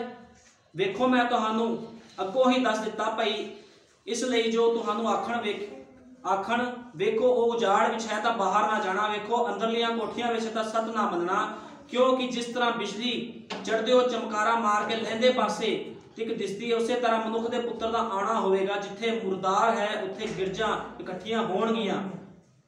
ਕਹਿੰਦਾ, ਉਹਨਾਂ ਦਿਨਾਂ ਦੇ ਕਸ਼ਟ ਦੇ ਪਿੱਛੋਂ ਜਦ ਚੁ- ਸੂਰਜ ਅੰਧੇਰਾ ਹੋ ਜਾਵੇਗਾ ਤੇ ਚੰਦ ਆਪਣੀ ਚਾਂਦਣੀ ਨਾ ਦੇਵੇਗਾ ਅਤੇ ਤਾਰੇ ਡਿੱਗ ਪੈਣਗੇ ਅਤੇ ਆਕਾਸ਼ ਦੀਆਂ ਸ਼ਕਤੀਆਂ ਹਿਲਾਈਆਂ ਜਾਣਗੀਆਂ, ਤਦ ਮਨੁੱਖ ਦੇ ਪੁੱਤਰ ਦਾ ਨਿਸ਼ਾਨ ਆਕਾਸ਼ ਵਿੱਚ ਪ੍ਰਗਟ ਹੋਵੇਗਾ। ਤਦੋਂ ਧਰਤੀ ਦੀਆਂ ਸਾਰੀਆਂ ਕੌਮਾਂ ਪਿੱਟਣਗੀਆਂ। ਇੱਕ ਇੱਕ ਦਿਨ ਲੋਕ ਪਿੱਟਣਗੇ। ਕਿਹਦੇ ਵਾਸਤੇ ਪਿੱਟਣਗੇ?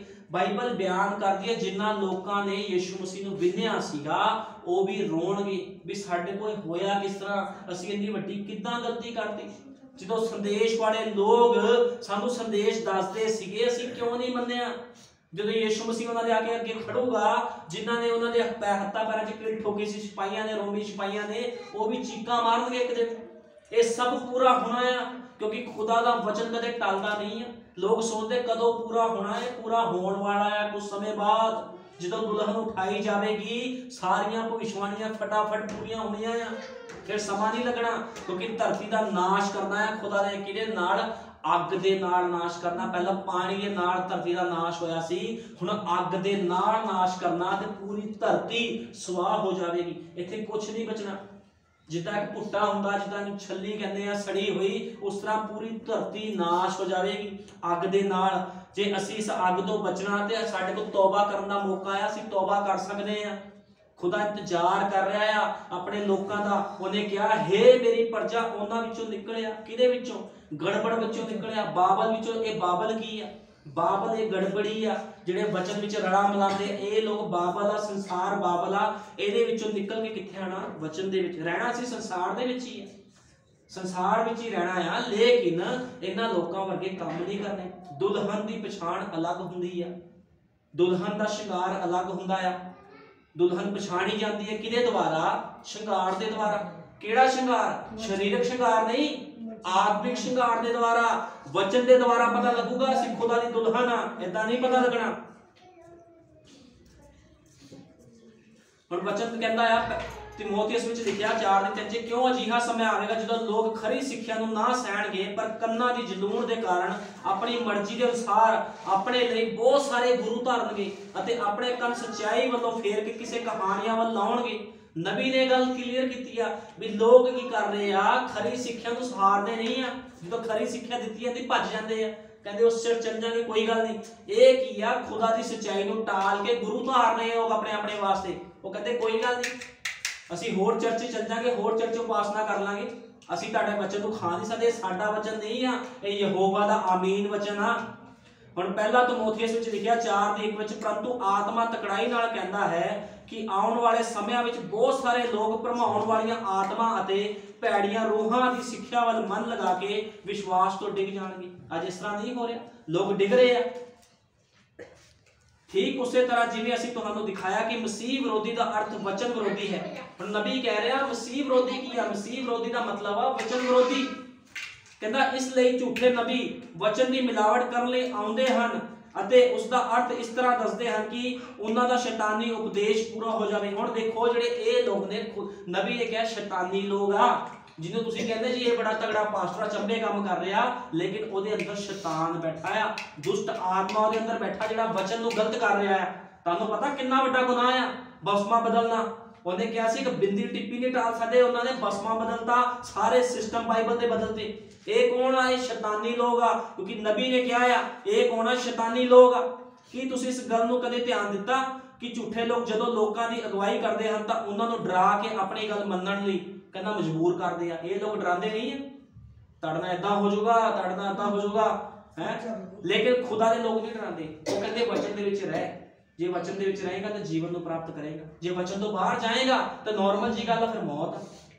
ਲੇਕਿਨ ਇਹ ਲੋਕ ਕੀ ਕਰਦੇ? ਨਬੀ ਕਹਿੰਦਾ ਇਹ ਲੋਕ ਡਰਾਉਂਦੇ ਆ। ਕਹਿੰਦਾ ਉਹ ਝੂਠੇ ਨਬੀ ਹਨ, ਕਿਉਂਕਿ ਇੱਕ ਸੱਚਾ ਨਬੀ ਤਾਂ ਲੋਕਾਂ ਨੂੰ ਵਚਨ ਦੀ ਵੱਲ ਹੀ ਲੈ ਕੇ ਜਾਵੇਗਾ। ਸੱਚਾ ਨਬੀ, ਸੱਚਾ ਬੰਦਾ ਕੀ ਕਰੂਗਾ? ਖੁਦਾ ਦਾ ਤੁਹਾਨੂੰ ਵਚਨ ਵੱਲ ਲੈ ਕੇ ਜਾਊਗਾ, ਤੁਹਾਨੂੰ ਡਰਾਊਗਾ ਨਹੀਂ। ਉਹ ਤਾਂ ਨਾਰਮਲ ਜੀ ਗੱਲ ਹੈ ਜੇ ਕੋਈ ਮਨੁੱਖ ਵਚਨ ਤੋਂ ਬਾਹਰ ਜਾਵੇਗਾ, ਉਹ ਫਿਰ ਖੁਦ ਜ਼ਿੰਮੇਦਾਰ ਆਪਣਾ। ਉਹਦੇ ਵਿੱਚ ਸਾਡਾ ਕੋਈ ਕਸੂਰ ਨਹੀਂ ਹੈ ਫਿਰ।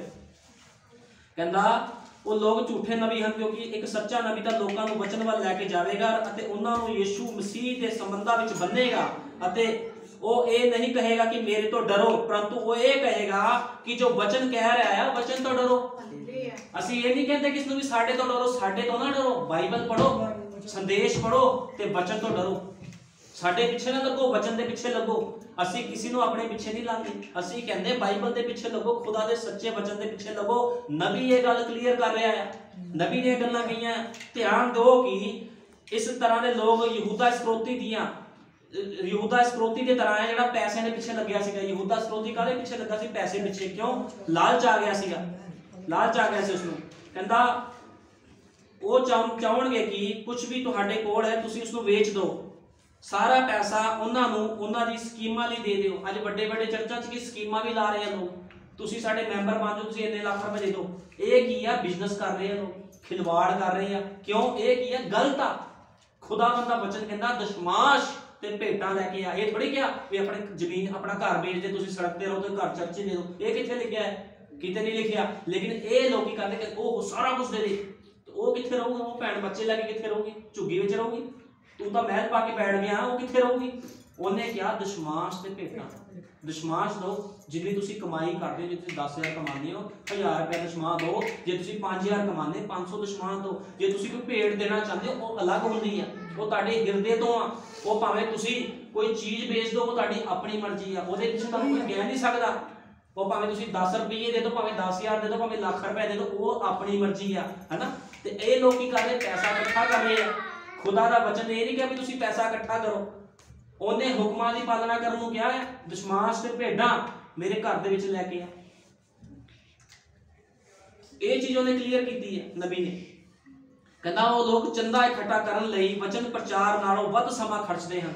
ਅੱਜ ਚਰਚਾ ਵਿੱਚ ਕੀ ਹੁੰਦਾ ਆ? ਪੈਸੇ ਦੀ ਗੱਲ ਜ਼ਿਆਦਾ ਹੁੰਦੀ ਹੈ। ਵਚਨ ਦੀ ਗੱਲ ਨਹੀਂ ਹੋਣੀ ਵੀ ਵਚਨ ਦੇ ਅਨੁਸਾਰ ਜੀਵਨ ਬਤੀਤ ਕਰ ਤਾਂ ਤੇਰਾ ਜੀਵਨ ਬਚੂਗਾ। ਪੈਸਾ ਦੇ ਦੇ, ਜਾ।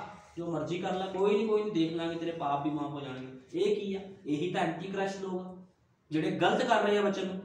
ਜੋ ਪਵਿੱਤਰ ਆਤਮਾ ਦੇ ਵਰਦਾਨਾਂ ਦਾ ਉਪਯੋਗ ਕਰਨ ਦੀ ਕੋਸ਼ਿਸ਼ ਕਰਦੇ ਹਨ, ਉਹ ਉਹਨਾਂ ਵਰਦਾਨਾਂ ਨੂੰ ਗਲਤੀਆਂ ਸਮੇਤ ਉਪਯੋਗ ਕਰਦੇ ਹਨ ਅਤੇ ਪੈਸੇ ਦੀ ਮੰਗ ਕਰਦੇ ਹਨ।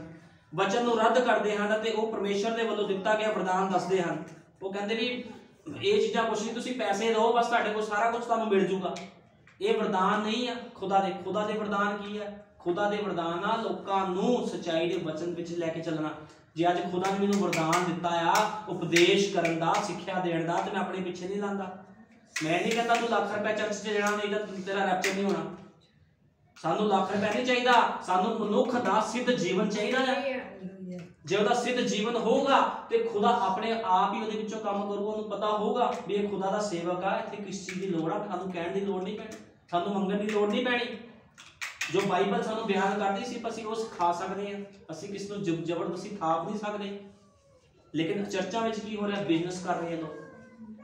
ਜੇ ਇਹਨੇ ਪੈਸੇ ਨਾ ਦਿੱਤੇ ਤੇਰੀ ਮੈਂਬਰਸ਼ਿਪ ਖਤਮ। ਹੈ ਤੁਹਾਨੂੰ ਪਤਾ ਮੈਂਬਰਸ਼ਿਪ ਮਿਲਦੀ ਪੈਸੇ ਦੁਆਰਾ। ਜੇ ਦਸ਼ਮਾਸ਼ ਨਹੀਂ ਦਿੰਦੇ ਮੈਂਬਰਸ਼ਿਪ ਖਤਮ ਹੋ ਜਾਂਦੀ ਵੱਡੇ ਵੱਡੇ ਚਰਚਾਂ 'ਚ। ਤੁਸੀਂ ਮੈਂਬਰ ਤੁਹਾਡੇ ਵਾਸਤੇ ਪ੍ਰਾਰਥਨਾ ਨਹੀਂ ਹੋਣੀ। ਤੁਹਾਡੇ ਵਾਸਤੇ ਫਿਰ ਭਵਿਸ਼ਵਾਣੀ ਨਹੀਂ ਹੋਣੀ। ਇਹ ਕੀ ਆ? ਇਹ ਬਿਜ਼ਨਸ ਆ ਸਾਰਾ ਨਬੀ ਨੇ ਕਿਹਾ ਸਾਰਾ ਕੁਝ ਬਿਜ਼ਨਸ ਆ। ਤੇ ਲੋਕ ਕਿਹੜੀ ਰੋਟੀ ਖਾ ਰਹੇ ਆ? ਜੀਵਨ ਦੀ ਰੋਟੀ ਥੋੜੀ ਖਾ ਰਹੇ ਆ। ਸੰਸਾਰ ਦੀ ਰੋਟੀ ਹੈ ਇਹ ਮੌਤ ਦੀ ਰੋਟੀ ਹੈ ਅਤੇ ਲੋਕ ਉਹਨਾਂ ਕੋਲ ਜਾਂਦੇ ਹਨ ਅਤੇ ਉਹਨਾਂ ਦਾ ਪੱਖ ਲੈਂਦੇ ਹਨ ਅਤੇ ਉਹਨਾਂ ਨੂੰ ਸਹਿਣ ਕਰਦੇ ਹਨ ਅਤੇ ਉਹਨਾਂ ਉੱਤੇ ਵਿਸ਼ਵਾਸ ਕਰਦੇ ਹਨ ਅਤੇ ਨਹੀਂ ਜਾਣਦੇ ਵੀ ਇਹ ਮੌਤ ਦਾ ਰਾਹ ਹੈ ਲੋਕ ਡਰਦੇ ਆ, ਵਿਸ਼ਵਾਸ ਵੀ ਕਰਦੇ, ਸਹਿਣ ਵੀ ਕਰਦੇ ਉਹਨਾਂ ਦੀ ਗੱਲਾਂ। ਲੇਕਿਨ ਲੋਕਾਂ ਨੂੰ ਪਤਾ ਨਹੀਂ ਵੀ ਮੌਤ ਦੇ ਰਾਹ ਵੱਲ ਜਾ ਰਹੇ ਆ ਲੋਕ। ਇਹ 'ਚ ਤੁਸੀਂ ਮਿਸ਼ਨਾ ਜਥੇਬੰਦੀਆਂ ਵਿੱਚ ਜਾ ਕੇ ਉੱਥੇ ਦਾਨ ਦੁਸ਼ਮਾਸ਼ ਕਰ ਰਹੇ ਤੁਸੀਂ ਆਪਣਾ ਪੈਸਾ ਸ਼ੇਕ ਵਾਲੀ ਥੈਲੀ 'ਚ ਪਾ ਰਹੇ ਹੋ, ਤੁਸੀਂ ਗਲਤ ਕਰ ਰਹੇ ਹੋ। ਕਿਉਂਕਿ ਉਹਦਾ ਦਸ਼ਮਾਸ਼ ਸਿਰਫ ਉਹਦੇ ਲੋਕਾਂ ਕੋ ਜਾਣਾ ਚਾਹੀਦਾ, ਉਹਦਾ ਪੈਸਾ। ਲੇਕਿਨ ਲੋਕ ਅੱਜ ਕੀ ਕਰ ਰਹੇ? ਅੱਜ ਚਰਚ ਦੇਖਿਆ ਕਿੱਡੇ ਕਿੱਡੇ ਅਮੀਰ ਹੋ ਗਏ। ਵਚਨ ਨਹੀਂ ਹੈਗਾ ਉਹਨਾਂ ਦੇ ਅੰਦਰ। ਉਹਨਾਂ ਦੀ ਕਲੀਸਿਆ ਦੇ ਲੋਕਾਂ ਦੇ ਜੀਵਨ ਤਾਂ ਦੇਖ ਲਓ ਤੁਸੀਂ। ਭੈਣਾਂ ਦੇ ਜੀਵਨ ਦੇਖ ਲਓ, ਜਵਾਨ ਕੁੜੀਆਂ ਦੇ ਜੀਵਨ ਦੇਖ ਲਓ। ਕਿੰਨੇ ਗਲਤ ਆ ਵਿਚਾਰ ਨਾਲ ਭਰੇ ਹੋਏ ਆ। ਕੋਈ ਕੁਝ ਨਹੀਂ ਬੋਲਦਾ। ਲੇਕਿਨ ਕਿੱਡੇ ਕਿੱਡੇ ਉਹਨਾਂ ਨੇ ਸਿਸਟਮ ਰੱਖੇ ਆ ਗਾਣ ਵਜਾਣ ਦੇ, ਗਾਣ ਵਜਾਣ ਦੇ ਕਿੱਡੇ ਕਿੱਡੇ ਸਿਸਟਮ ਰੱਖੇ ਆ ਲੱਗਦਾ ਵੀ ਇਹਨਾਂ ਤੋਂ ਆਤਮਿਕ ਕੋਈ ਚਰਚ ਹੋ ਹੀ ਨਹੀਂ ਸਕਦਾ। ਲੇਕਿਨ ਤੁਸੀਂ ਬਾਹਰ ਦੇਖੋ ਉਹਨਾਂ ਦੇ ਜੀਵਨ ਕਿੰਨੇ ਗੰਦੇ ਆ। ਉਹਨਾਂ ਦੇ ਕੱਪੜੇ ਇੰਨੇ ਸੋਹਣੇ ਹੁੰਦੇ ਆ, ਉਹਨਾਂ ਦੇ ਚਿਹਰੇ ਐਂ ਲੱਗਦੇ ਜਿਵੇਂ ਦੂਤ ਖੜੇ ਆ। ਲੇਕਿਨ ਇਹ ਨਹੀਂ ਪਤਾ ਦੂਤ ਨਹੀਂ ਇਹਦਾ ਭੂਤ ਆ। ਕਿਉਂਕਿ ਖੁਦਾ ਦਾ ਵਚਨ ਕਹਿੰਦਾ ਆ ਚਰਚਾਂ ਵਿੱਚ ਲੋਕ ਆਂਦੇ ਆ, ਦੂਤ ਦਾ ਰੂਪ ਧਾਰ ਕੇ, ਲੇਕਿਨ ਬਾਹਰ ਕੀ ਬਣ ਜਾਂਦੇ? ਭੂਤ ਬਣ ਜਾਂਦੇ ਆ। ਤੇ ਇਹ ਲੋਕ ਕਿਹੜੇ ਆ? ਜਿਹੜੇ ਯੀਸ਼ੂ ਮਸੀਹ ਦੀ ਸਿੱਖਿਆ ਤੋਂ ਬਾਹਰ ਆ, ਸਾਰੇ ਦੇ ਸਾਰੇ ਹੀ ਭੂਤ ਆ, ਦੁਸ਼ਟ ਆਤਮੇ ਆ, ਤੇ ਦੁਸ਼ਟ ਆਤਮਿਆਂ ਦੀ ਸੰਗਤ ਅਸੀਂ ਨਹੀਂ ਕਰਨੀ। ਅਸੀਂ ਕਿਹਦੀ ਸੰਗਤ ਕਰਨੀ ਆ? ਅਸੀਂ ਨਬੀ ਦੇ ਸੰਦੇਸ਼ਾਂ ਦੇ ਅਨੁਸਾਰ ਚੱਲਣਾ ਆ, ਉਹਦੀ ਸੰਗਤ ਕਰਨੀ ਆ। ਕਿਉਂਕਿ ਨਬੀ ਕੌਣ ਆ? ਨਬੀ ਨੇ ਹੀ ਸਾਨੂੰ ਇਹ ਪੋਥੀ ਫੜਾਈ ਆ। ਨਬੀ ਦੇ ਦੁਆਰਾ ਹੀ ਇਹ ਸੰਦੇਸ਼ ਸਾਡੇ ਕੋਲ ਆਇਆ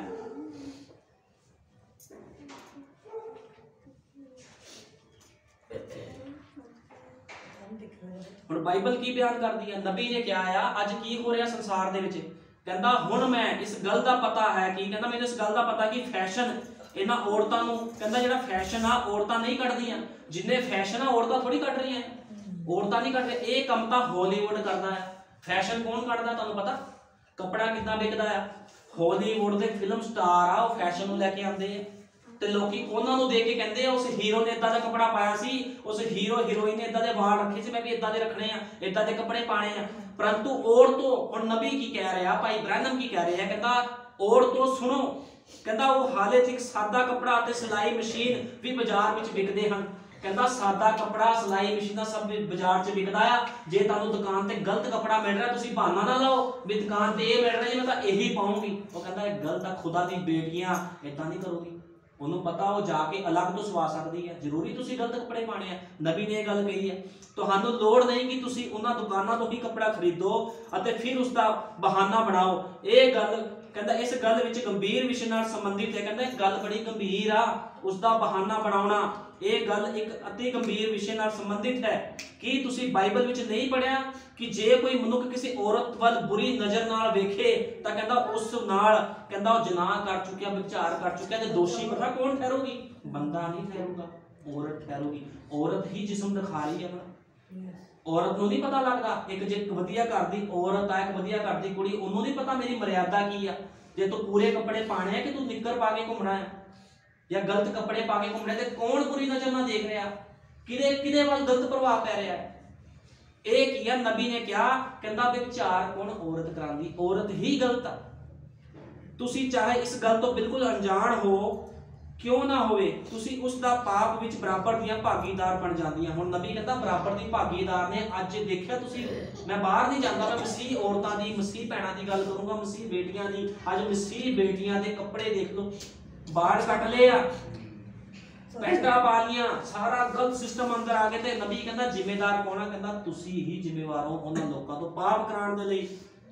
ਭਾਵੇਂ ਤੁਸੀਂ ਅਜਿਹੀ ਕੋਈ ਇੱਛਾ ਨਾ ਹੋਵੇ ਅਤੇ ਤੁਸੀਂ ਪੂਰੇ ਤੌਰ ਨਾਲ ਕੁਆਰੀਆਂ ਹੋਵੋ, ਇਸ ਲਈ ਪਰਮੇਸ਼ਵਰ ਤੁਹਾਨੂੰ ਭਾਗੀਦਾਰ ਠਹਿਰਾਏਗਾ ਅਤੇ ਤੁਹਾਡਾ ਨਿਆਂ ਕਰੇਗਾ ਤੁਹਾਨੂੰ ਪਤਾ ਨਿਆਂ, ਜੇ ਅੱਜ ਅਸੀਂ ਆਪਣੇ ਬੱਚੇ, ਜਿਹੜੇ ਮਸੀਹ ਭੈਣ ਜਿੰਨੇ ਵੀ ਸੁਣ ਰਹੇ ਆ ਮੈਨੂੰ, ਜਿੰਨੇ ਮਸੀਹ ਲੋਕ ਆ, ਜੇ ਤੁਹਾਡੇ ਬੱਚੇ, ਤੁਹਾਡੀ ਬੇਟੀਆਂ ਗਲਤ ਕੱਪੜੇ ਪਾ ਰਹੇ, ਤੁਹਾਨੂੰ ਨਿਆਂ ਦੇਣਾ ਪਊਗਾ ਇਸ ਚੀਜ਼ ਦਾ। ਤੁਸੀਂ ਗਲਤ ਕੱਪੜੇ ਕਿਉਂ ਪਾਏ? ਤੁਸੀਂ ਮਸੀਹ ਦੀ ਬਦਨਾਮੀ ਕਿਉਂ ਕਰਾਈ? ਤੁਸੀਂ ਗਲਤ ਤਰੀਕੇ ਨਾਲ ਬਾਣਾ ਦਾ ਸਟਾਈਲ ਕਿਉਂ ਰੱਖਿਆ? ਇਹ ਮਸੀਹ ਨੇ ਹਿਸਾਬ ਲੈਣਾ ਇੱਕ ਦਿਨ। ਕਿਉਂਕਿ ਜੋ ਬੀਜਿਆ ਉਹੀ ਵੱਢੂਗਾ ਬੰਦਾ। ਜੇ ਬੰਦਾ ਸੋਚਦਾ ਨਾ ਵੀ ਮੈਂ ਬੜੇ ਪਾਪ ਕਰ ਲਏ ਕੋਈ ਨਹੀਂ ਮੈਂ ਕੱਲ ਨੂੰ ਮਾਫੀ ਮੰਗ ਲੂੰਗਾ ਜਾ ਕੇ ਮਾਫੀ ਨਹੀਂ ਮਿਲਣੀ। ਕਿਉਂਕਿ ਬਾਈਬਲ ਬਿਆਨ ਕਰਦੀ ਆ ਜਿਨ੍ਹਾਂ ਨੇ ਗਲਤੀਆਂ ਕੀਤੀਆਂ ਆ ਉਹਦਾ ਖਮਿਆਜਾ ਭੁਗਤਣਾ ਹੀ ਪੈਣਾ ਆ। ਜੇ ਦਾਊਦ ਨੇ ਗਲਤੀ ਕੀਤੀ ਸੀ ਉਹਨੇ ਆਪਣੀ ਸੈਨਿਕ ਦੀ ਪਤਨੀ ਰੱਖ ਲਈ ਸੀਗੀ ਆਪਣਾ ਸੈਨਿਕ ਮਰਵਾ ਕੇ ਉਹਨੂੰ ਉਹਦਾ ਖਮਿਆਜਾ ਭੁਗਤਣਾ ਪਿਆ। ਜਿਨ੍ਹਾਂ ਨੇ ਗਲਤੀ ਕੀਤੀ ਹੈ ਸ਼ਾਉਲ ਨੇ ਗਲਤੀ ਕੀਤੀ ਸੀ ਤੇ ਉਹਨੂੰ ਵੀ ਆਪਣਾ ਜ- ਜਿਹੜਾ ਸ਼ਾਉਲ ਰਾਜਾ ਸੀਗਾ ਦਾਊਦ ਤੋਂ ਪਹਿਲਾਂ ਉਹਨੇ ਗਲਤੀ ਕੀਤੀ, ਉਹਨੂੰ ਆਪਣੀ ਜਾਨ ਦੇਣੀ ਪਈ। ਜਿਨ੍ਹਾਂ ਲੋਕਾਂ ਨੇ ਗਲਤੀ ਕੀਤੀ, ਉਹਨੂੰ ਆਪਣੀ, ਉਹਨੂੰ ਖਮਿਆਜਾ ਬੰਦੇ ਸੋਚਦੇ ਨਾ ਵੀ ਅੱਜ ਕੋਈ ਗੱਲ ਨਹੀਂ। ਸਾਡੀ ਉਮਰ ਆ ਹਲੇ, ਅਸੀਂ ਜਵਾਨ, ਅਸੀਂ ਗਲਤੀ ਕਰ ਸਕਦੇ ਕੱਲ ਨੂੰ ਮਾਫੀ ਮੰਗ ਲਾਂਗੇ। ਮਾਫੀ ਨਹੀਂ, ਉਹਦਾ ਹਿਸਾਬ ਲੈਣਾ ਖੁਦਾ ਨੇ। ਤੇ ਇੱਥੇ ਉੱਪਰ ਜਾ ਕੇ ਨਹੀਂ ਆ, ਜਿਹੜਾ ਮਨੁੱਖ ਧਰਤੀ ਤੇ ਗਲਤੀ ਕਰਦਾ, ਧਰਤੀ ਤੇ ਹੀ ਉਹਨੂੰ ਹਿਸਾਬ ਚੁਕਾਣਾ ਪਊਗਾ, ਉੱਪਰ ਦਾ ਬਾਅਦ ਦੀ ਗੱਲ ਆ। ਉੱਪਰ ਕਿਹੜਾ ਤੁਸੀਂ ਦੇਖ ਲਿਆ ਹਲੇ ਜਾ ਕੇ? ਉੱਪਰ ਜਾਓਗੇ ਤਾਂ ਹੈ ਨਾ। ਥੱਲੇ ਹੀ ਹਿਸਾਬ ਪਹਿਲਾਂ ਦੇਣਾ ਪੈਣਾ, ਉੱਪਰ ਤਾਂ ਬਾਅਦ ਚ ਦੀ ਗੱਲਾਂ ਆ। ਉੱਪਰ ਬਾਅਦ ਚ ਹਿਸਾਬ ਹੋਊਗਾ।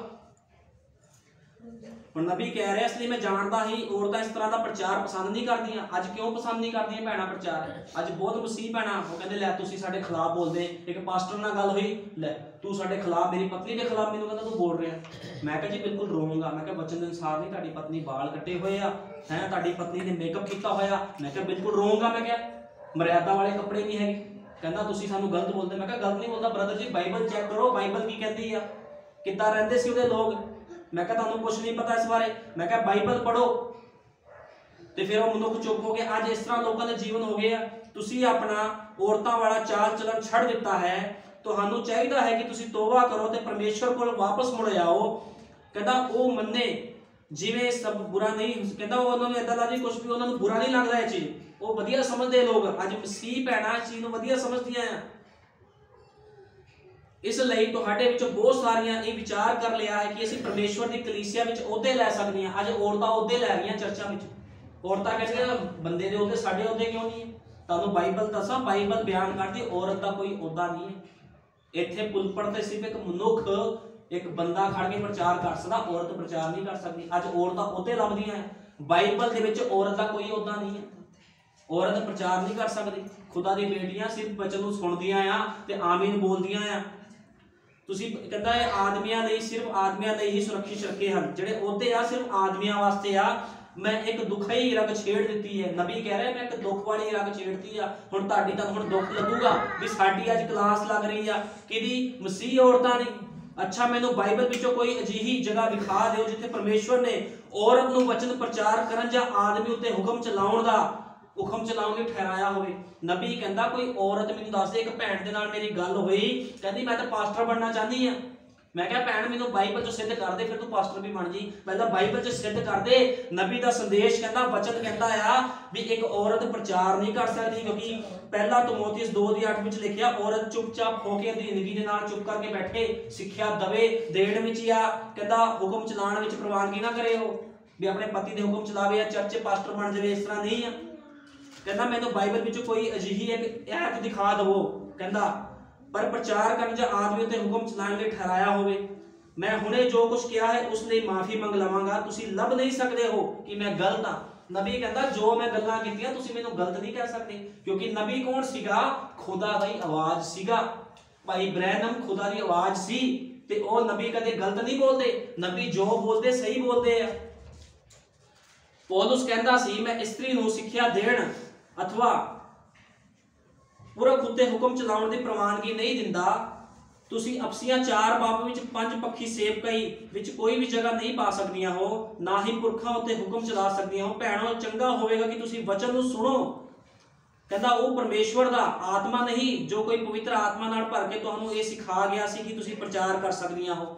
ਹੁਣ ਜੇ ਕੋਈ ਸੋਚਦਾ ਨਾ ਅੱਜ ਲੋਕ ਕਹਿੰਦੇ ਜੀ, ਔਰਤਾਂ ਵੀ ਪ੍ਰਚਾਰ ਕਰ ਸਕਦੀਆਂ ਉਹ ਕਹਿੰਦਾ ਫਿਰ ਉਹ ਖੁਦਾ ਦਾ ਆਤਮਾ ਨਹੀਂ ਸੀਗਾ। ਉਹ ਸ਼ੈਤਾਨ ਦਾ ਆਤਮਾ ਜਿਹੜਾ ਕਹਿ ਕੇ ਵੀ ਔਰਤ ਪ੍ਰਚਾਰ ਕਰ ਸਕਦੀ ਹੈ ਔਰਤ ਪ੍ਰਚਾਰ ਨਹੀਂ ਕਰ ਸਕਦੀ, ਇਹਦਾ ਵੀ ਹਿਸਾਬ ਦੇਣਾ ਪਊਗਾ। ਕੋਈ ਮਾਫੀ ਨਹੀਂ ਹੈ ਖੁਦਾ ਦੇ ਵਚਨ ਤੋਂ ਬਾਹਰ ਜਾਣਾ, ਤੁਹਾਨੂੰ ਪਤਾ ਹੈ, ਪੁਰਾਣੇ ਸਮੇਂ 'ਚ ਕੀ ਹੁੰਦਾ ਸੀ? ਪ੍ਰਭੂ ਮਾਰ ਦਿੰਦਾ ਸੀਗਾ। ਜੇ ਬੰਦਾ ਖੜਾ ਧਰਤੀ ਪਾੜ ਜਾਂਦੀ ਸੀ ਕਿ ਅੱਗ ਆ ਜਾਂਦੀ ਸੀ, ਅੱਜ ਪ੍ਰਭੂ ਕੀ ਕਰ ਰਿਹਾ? ਅੱਜ ਪ੍ਰਭੂ ਮੌਕਾ ਦੇ ਰਿਹਾ, ਅੱਜ ਨਹੀਂ ਤਾਂ ਕੱਲ ਸੁਧਰ ਜਾਊਗਾ। ਲੇਕਿਨ ਲੋਕ ਸੁਧਰ ਨਹੀਂ ਰਹੇ। ਹਰ ਕਿਸ ਨੂੰ ਸ਼ੌਕ ਚੜ ਗਿਆ ਆ।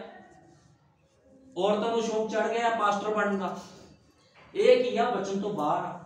ਜੋ ਖੁਦਾ ਦੇ ਹੁਕਮ, ਜੋ ਨਿਯਮ ਤੇ ਨਹੀਂ ਚੱਲਦਾ ਬੰਦਾ, ਉਹਦਾ ਥੋੜੀ ਆ ਹੁਕਮ, ਨਿਯਮ ਕਿਹਦੇ ਤੋੜ ਰਹੇ ਸੀ ਕਿਸੇ ਮਨੁੱਖ ਦੇ ਤੋੜ ਰਹੇ।